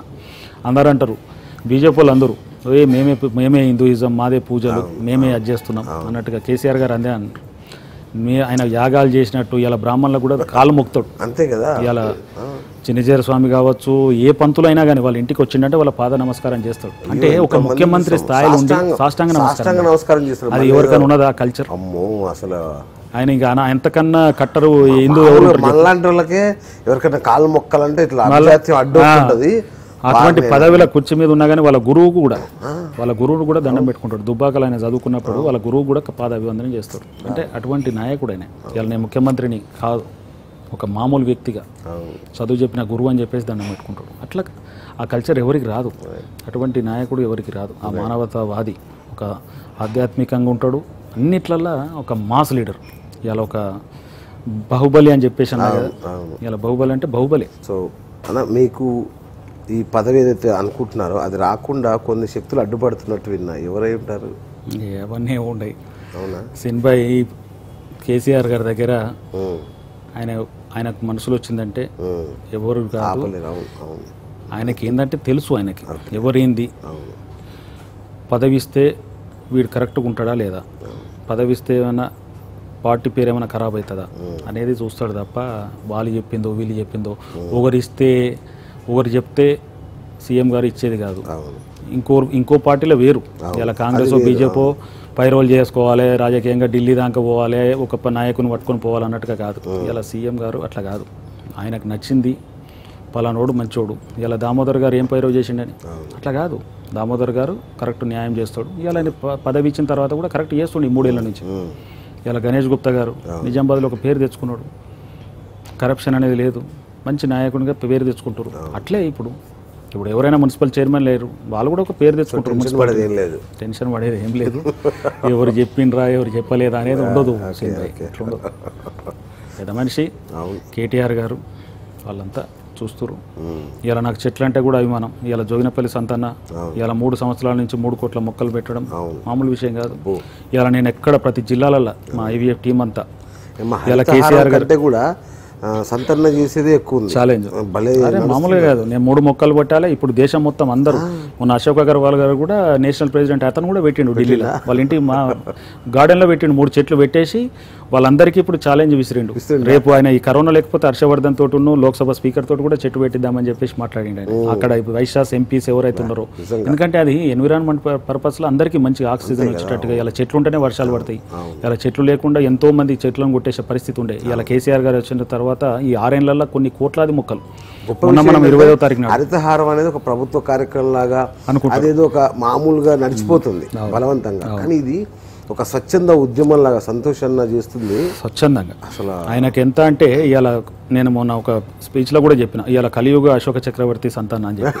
ఎందుకంటే ఇవాళ అశోక అశోక చక్రవర్తి ఆ రోజులల్లో ఆయన రాజ్యంలో ఒక రాజరికంలో ఎంతో మంది అప్పుడు రోడ్ల మీద చెట్లు పెట్టినట్టుగా మనం. రోడ్లకు మనం ఇరువైపులా. చెట్లను పెట్టినట్టు మనం పుస్తకాలు. ఇవాళ ఆయనే ఒక అశోక చక్రవర్తి లాగా. ఇవాళ కేటీఆర్ గారు కావచ్చు కేసీఆర్ గారు కావచ్చు వాళ్ళ అడుగుజాడలో వీళ్ళిద్దరు కూడా ఒక చెట్లని హరితారం అనేది ఏమన్నా ఫ్రైడే ఫ్రైడే ప్రతి ఒక్కరు చెట్టు పెట్టాలంటే నేను కూడా చెట్టు పెట్టిన. మొన్న హరితారం రోజు కేసీఆర్ గారు చెప్పగానే గౌరవల్లిలో మా యూనిట్లో ఒక చెట్టు పెట్టిన. అంటే ప్రతి ఒక్కరం కూడా ఇలా ప్రతి ఒక్కరం కూడా ఒక ఇంటికి ఒక ఆరు మొక్కలు పెట్టాలని కేసీఆర్ గారు కూడా పిలిపించారు. మూడు చే- మూడు పెట్టాను. ఇక్కడ. సార్ పిలుపు మేరకి సంతోష్ గారి మీ ఛానల్లో కూడా మంచిగా దాన్ని ప్రమోషన్ పెట్టండి. ఇలా సంతాన కూడా ఛాలెంజ్ ఎంతో మంది సినిమా యాక్టర్స్ ఐఏఎస్. కావచ్చు. కీసరలో మొన్న మొన్న కూడా నేను పోయినా? మొన్న థర్డ్ది త్రీ జీరో స్టార్ట్ చేసినప్పుడు. ఓకే. అది కూడా మూడో సంవత్సరం. నాకు ఇంటర్వ్యూ ఇస్తాను ప్రామిస్ చేశాడు సంతోష్ సార్. ఎక్కడ కీసర్ అడ- అడవుల్లో ఆయన దత్తత తీసుకున్న అడవుల్లో. ఓకే. సో దానికోసం వెయిట్ చేయాలి. పోవాలి మీరు అడుగుతూ ఇస్తాడు ఇస్తాడు ఇస్తాడు. కంపల్సరీ ఇస్తాడు సంతన్న. ఆయనకి ఏంటంటే చెట్లు అంటే చాలా అమితమైన ప్రేమ. ప్రతి ఒక్కరు కూడా ఆయన ఆయన పిలుపును చాలా మంది స్వీకరించుకుంటారు. ఐఏఎస్ ఆఫీసర్లు కావచ్చు ఎక్కడెక్కడో ఇక్కడ కాదు. ఢిల్లీలో కూడా పార్లమెంట్లో కూడా ఒక ఎంపీలు కూడా ఈ పార్టీ అని కాదు ఏ పార్టీ ఇప్పుడు. సంతోష్ గారు పిలుపును రాజ్యసభ ఎంపీ ఇచ్చిందంటే మా అశోక్ అగర్వాల్ గారు రాజ మన. All India pollution control board member అంటే ఆయన క్యాబినెట్ ర్యాంక్. ఒకడే ఉంటాడు. అటువంటిది అశోక్ అగర్వాల్ గారు వాళ్ళు బీజేపీలో ఉన్నా కానీ ఢిల్లీలో పెట్టిండ్రు. అంటే నేను పిలుపునిచ్చిన నేను అంటే నాకు ఛాలెంజ్ను స్వీకరించి సంతన్నది. నేను వాళ్ళకి ముగ్గురికి ఇచ్చిన. ఇలా ఒక్కొక్క రాష్ట్రంలో ప్రెసిడెంట్ తమిళనాడు ప్రెసిడెంట్ కావచ్చు కర్ణాటక ప్రెసిడెంట్ కావచ్చు వీళ్ళందరూ ప్రతి రాష్ట్రంలో పెడతారు మూడు మూడు చెట్లు. అంతే. అంటే మనం సినిమా చూసినాం కదా చిరంజీవి సినిమా. ముగ్గురం సాయం చేస్తే మనకు సాయం చేస్తే సేమ్ అదే టైపులో సంతన్న కూడా అట్లా వండర్ఫుల్ వండర్ఫుల్ ఇలా ఒక హరితారం ఇలా చూడు మనం ఎక్కడ చూసిన పల్లెటూర్లలో కూడా సర్పంచులను కూడా ఇలా కేటీఆర్ గారు కూడా మొన్న సిరిసిల్ల మీటింగ్లో చెప్తుండు. సర్పంచులు మీ ఒక్క చెట్టు ఎండిపోతే మాత్రం మీది అదైతే అన్నట్టు. ఆఫీసర్లను కూడా వాళ్ళని చూసుకోవాలి చెట్టును. ఎండిపోకుండా చూడండి. ఏదో పెట్టడమే కాదు. నాటంగానే కాదు. దాన్ని మళ్ళీ పెంపు కూడా చూడాలి మనం. అట్లుంటేనే చెట్టు ఒక ఐదు సంవత్సరాలు మనం కరెక్ట్గా కాపాడినాం అనుకో. అది మనకు అవసరమే లేదు కదా కూడా. ఎదగైపోతుంది. అన్న ఫైనల్గా చెప్పండి. ఈ ఆరేళ్ళ టీఆర్ఎస్ పాలన ఎలా ఉంది? ఒక టీఆర్ఎస్ నాయకుడిగా చెప్పండి సామాన్యుడు ఒక సామాన్యుడిగా చెప్తున్నా ఒక టీఆర్ఎస్ కార్యకర్త కాదు టీఆర్ఎస్ లీడర్గా కాదు. ఇలా అరవై సంవత్సరాల పాలనను తలదన్నే విధంగా ఇలా కేసీఆర్ గారు ఆరు సంవత్సరాల్లోనే ఆ చరిత్ర తిరిగి రాసిండు ఇలా తెలంగాణ అనేది మనం చూసినాం. ఇలా కిరణ్ కుమార్ రెడ్డి గారు కావచ్చు చంద్రబాబు నాయుడు గారు కావచ్చు ఎన్టీ రామారావు కావచ్చు రాజశేఖర రెడ్డి కావచ్చు ఏ ముఖ్యమంత్రి అయినా కానీ వాళ్ళ స్వార్థం వాళ్ళకు ఉంటుంది. ఎందుకంటే మా మా ఏరియాని డెవలప్ చేసుకోవాలని. ఎందుకంటే తెలంగాణ నుంచి ఒక జలంగం వెంగళరావు తప్ప ముఖ్యమంత్రిగా పివి నరసింహరావు గారు తప్ప చాలా మంది తక్కువ మంది వాళ్ళు మనకు తెలంగాణకు ముఖ్యమంత్రులు అయ్యారు అవును. ఎక్కువ ఆంధ్రప్రదేశ్ నుంచి అంటే ఆంధ్ర నుంచి ఎక్కువైన అటు విజయవాడ కావచ్చు అక్కడ కోస్టల్ వరకు కావచ్చు ఆ ముఖ్యమంత్రులు ఎంతసేపు వాళ్ళ స్వార్థం కోసం వాళ్ళు తీసుకుపోయారు తప్ప మనకు తెలంగాణకు అంత మొండి చేయ ఎక్కడ చూడినా. నువ్వు ప్రాజెక్టులలో చూసినా ఎక్కడ చూసినా ఇప్పుడు వాళ్ళ దగ్గర ఎక్కడ పోయినా కానీ పంటలు కావచ్చు ఇలా రోడ్లు కావచ్చు ఎంతో డెవలప్ చేసుకున్నారు. పవర్ కావచ్చు అన్ని విధాలలో వాళ్ళకే. ఇలా కిరణ్ కుమార్ రెడ్డి గారు ఉంటే చిత్తూరు జిల్లాను ఎట్లా చేసుకున్నారు మనం చూసినాం. ఒక్క రూపాయి కూడా మీకు ఇయ్యన్నారు అసెంబ్లీలో. అప్పుడు హరీష్ రావు గారు వీళ్ళంతా కొట్లాడినా కానీ మీకు ఏం చేసుకుంటారో చేసుకోరు ఒక రూపాయి ఇయ్య మీకు అని అన్నాడు. అటువంటిది ఇలా తెలంగాణ వచ్చిన తర్వాత లక్ష యాభై వేల కోట్ల బడ్జెట్ దాదాపు రెండు లక్షల కోట్ల వరకు వెళ్ళే పరిస్థితి. ఇలా మనం చూస్తున్నాం ఇంత క్లిష్ట పరిస్థితిలో ఉన్నా కానీ దేశంలో ఎకనామికల్గా చూసుకుంటే మనదే seventeen point seven percent growth తోటి ఉన్నది. ఇవాళ మొన్న ఐటీ పరిశ్రమ కూడా చూసుకుంటే అందరూ బిలో సింగిల్ డిజిట్కే సరిపోయింది. ఇవాళ మనం చూసుకుంటే సెవెంటీన్ పర్సెంట్ ఎయిటీన్ పర్సెంట్ మొన్ననే కేటీఆర్ గారు ఎక్స్పోర్ట్ పరంగా చూసుకున్నా. మనకు ఐటీ పరిశ్రమ ఎంత ఎంత ప్రాఫిట్లో ఉంది అనేది మనం చూస్తున్నాం రాష్ట్రానికి. ఇలా ఏదన్నా చూడు. ఇలా హాస్పిటల్స్ కానీ రోడ్లు కానీ ప్రతి విధంగా కూడా మనం అరవై సంవత్సరాల కింద ఎట్లుండే ఇప్పుడు ఎట్లుండే అనేది వాళ్ళకు కూడా తెలుసు కాంగ్రెస్ వాళ్ళకి తెలుసు బీజేపీ వాళ్ళకి తెలుసు. ఇలా కరెక్ట్ పాలన చేస్తుండే కాబట్టి ఎవరు కూడా విమర్శించే స్థాయి కనబడతలేదు. ఎవరో మామూలుగా మాట్లాడుతుంటే అవన్నీ రేవంత్ రెడ్డి అని సరిగ్గా పట్టించుకుంటలేడు ఇంట్లోంచి బయటికి రాడు ఇవన్నీ ఏంటి ఆరోపణలు అన్నీ కేసీఆర్ గారు ఎక్కడున్నా కానీ పాలన అనేది ఉంటుంది. ఆయన ప్రగతి భవన్లో ఉన్నాడా ఇంట్లో ఉన్నాడా ఎక్కడ అనేది కాదు. కేసీఆర్ గారు మొదల పద్దెనిమిది గంటలు పాలన చేసేటోడు ఎవరైనా ఉన్నారంటే ముఖ్యమంత్రి కేసీఆర్ గారు. నువ్వు రాత్రి పన్నెండు కావచ్చు ఒకటి కావచ్చు. ఆయన పాలన అంతా ఎప్పుడు ఏది ఉండాలి? నీళ్ళు ఎట్లా రావాలి? నిధులు ఎట్లా రావాలి? ఉద్యోగాలు ఎట్లా రావాలి? తెలంగాణను ఎట్లా డెవలప్ చేయాలి? అంతే తప్ప ఏదో ఇక్కడ ఉన్నాడా అక్కడ ఉన్నాడా అనేది కాదు. ఎక్కడ ఉన్నా కానీ is the CM is the powerful CM is dynamic personality అది ఎవ్వరు కూడా సాధ్యం కాదు. ఏ ముఖ్యమంత్రి కూడా అట్లా చేయడు. నేను ఏదో టీఆర్ఎస్ పార్టీలో ఉన్నా అని చెప్పేసి ఒక ఒక సామాన్యులు లిబరల్గా చెప్తున్నా. లిబరల్గా చెప్తున్నా. అందుకని ఆ నాయకుని సేవలో నేను కూడా ఉంటా అని చెప్పేసి నేను టీఆర్ఎస్ పార్టీ చేయలేదు కరోనా ఫైట్లో వెనుకబడ్డారనే ఒకటి వస్తుంది. కరోనా ఫైట్లో అందరికన్నా మొదలే కేసీఆర్ గారు ముందుండి తెలంగాణలో అసలు సెంట్రల్కు ఈ ఈ మర్కజ్ది మొదలు చెప్పింది మోడీ గారు కావచ్చు అమిత్ షా గారు కావచ్చు బీజేపీకి మొదలు చెప్పింది కేసీఆర్ గారు. ఎందుకంటే మర్కజ్ తోటే ఇది స్ప్రెడ్ అవుతుంది. జాగ్రత్త అని చెప్పేసి చెప్పారు ఇక్కడ ఢిల్లీలో చేసిన దానికి ముస్లింలు ఏదో ప్రార్థనలు చదువుకున్నారంటే ఎక్కడి నుంచో దేశాల నుంచి వచ్చారు. ఆ దేశాల నుంచి మనం కంట్రోల్ చేసేస్తే ఈ పరిస్థితి రాకపో. ఇవాళ మన మైగ్రెంట్స్ చూసుకుంటే ఒక్కొక్కరికి పన్నెండు వందల రూపాయలు పదిహేను కిలోల బియ్యం పదిహేను వందల రూపాయలు. ఇవాళ మళ్ళా నీకు రేషన్ కార్డు ఉన్న కూడా డబల్ బియ్యం. ఇవన్నీ ఎవరు చేశారండి ఏ ముఖ్యమంత్రి కూడా చేయాలి. ఇవాళ రైతుల దగ్గర నుంచి పంట ఇచ్చిన పంటను కూడా తీసుకోవడం. ఎవరైనా చేసిండ్రా ముప్పై మూడు వేల కోట్లు అవసరమైతే ఎంప్లాయీస్కు సగం జీతాలు సెవెంటీ ఫైవ్ పర్సెంట్ జీతాలు తీసుకుంటే వాళ్ళని ఒప్పించేసి వీళ్ళందరినీ లెవెల్ చేసిండు బ్యాలెన్స్ చేసిండు మైగ్రేన్స్ అందరికీ ఒక్కొక్కరికి ఇక్కడ నుంచి బయటకు పోవాలంటే ఇప్పుడు పాట్నాకు పోవాలి బీహార్కు. ఎక్కువ మంది బీహార్ వాళ్ళే ఉంటారు మన దగ్గర లేవు. ఆ బీహార్ వాళ్ళని అందరినీ ఎట్లా పంపించాలి వాళ్ళ పాపం తల్లిదండ్రులు ఎక్కడో ఉన్నారు పిల్లలు ఎక్కడో ఉన్నారు. వాడు ఒక్కడొచ్చి ఇక్కడ ఉద్యోగం చేస్తుండు అమ్మాలి పని చేస్తుండు. అటువంటి వాళ్ళని కరెక్ట్గా చేయాలని చెప్పేసి వాళ్ళకు మూడు పూటలు భోజనాలు పంపించేసి ట్రైన్లు ఎక్కించేసి ఎమ్మెల్యేలు కూడా దగ్గర ఉండేసి ట్రైన్లు ఎక్కించేసి పంపించిన చరిత్ర కేసీఆర్ గారిది. నువ్వు అదే వేరే రాష్ట్రాలలో చూసుకుంటే ఏడు వందల రూపాయలు పదకొండు వందల రూపాయలు పదిహేను వందల రూపాయలు ట్రైన్ టికెట్లు ఇచ్చేసి వాళ్ళకి పంపించారు.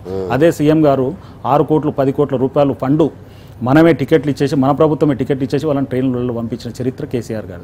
అంటే ఒక్కొక్కటి ఢిల్లీ హాస్ మన పరకు ఉంటుంది. Super super. ఓకే అన్న సూపర్. Thank you. చాలా విషయాలు చెప్పారు. ఇంకో రెండు మూడు సంవత్సరాల్లో మిమ్మల్ని థ్యాంక్ యూ రేంజ్లో చూడాలి.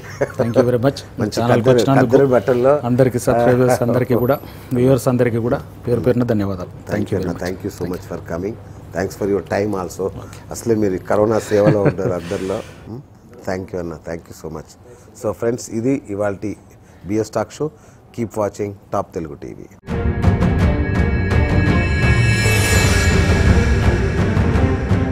మన టాప్ తెలుగు టీవీ షేర్ చాట్లో అలాగే డైలీ హండ్ న్యూస్ యాప్స్లో కూడా ఉంది. ఫాలో అవ్వండి. ఇంతకీ మా ఛానల్ సబ్స్క్రైబ్ చేసుకుంటారుగా? గంట కొట్టడం మాత్రం మర్చిపోవద్దు. Hello guys this is Vinay కుయ్య hi నేను మీ Sonakshi Varma hi this is Avantika this is day star Gopal please like share and subscribe to please subscribe it please subscribe to please subscribe to like share and subscribe to top Telugu TV top Telugu TV top Telugu TV top Telugu TV Top Telugu TV.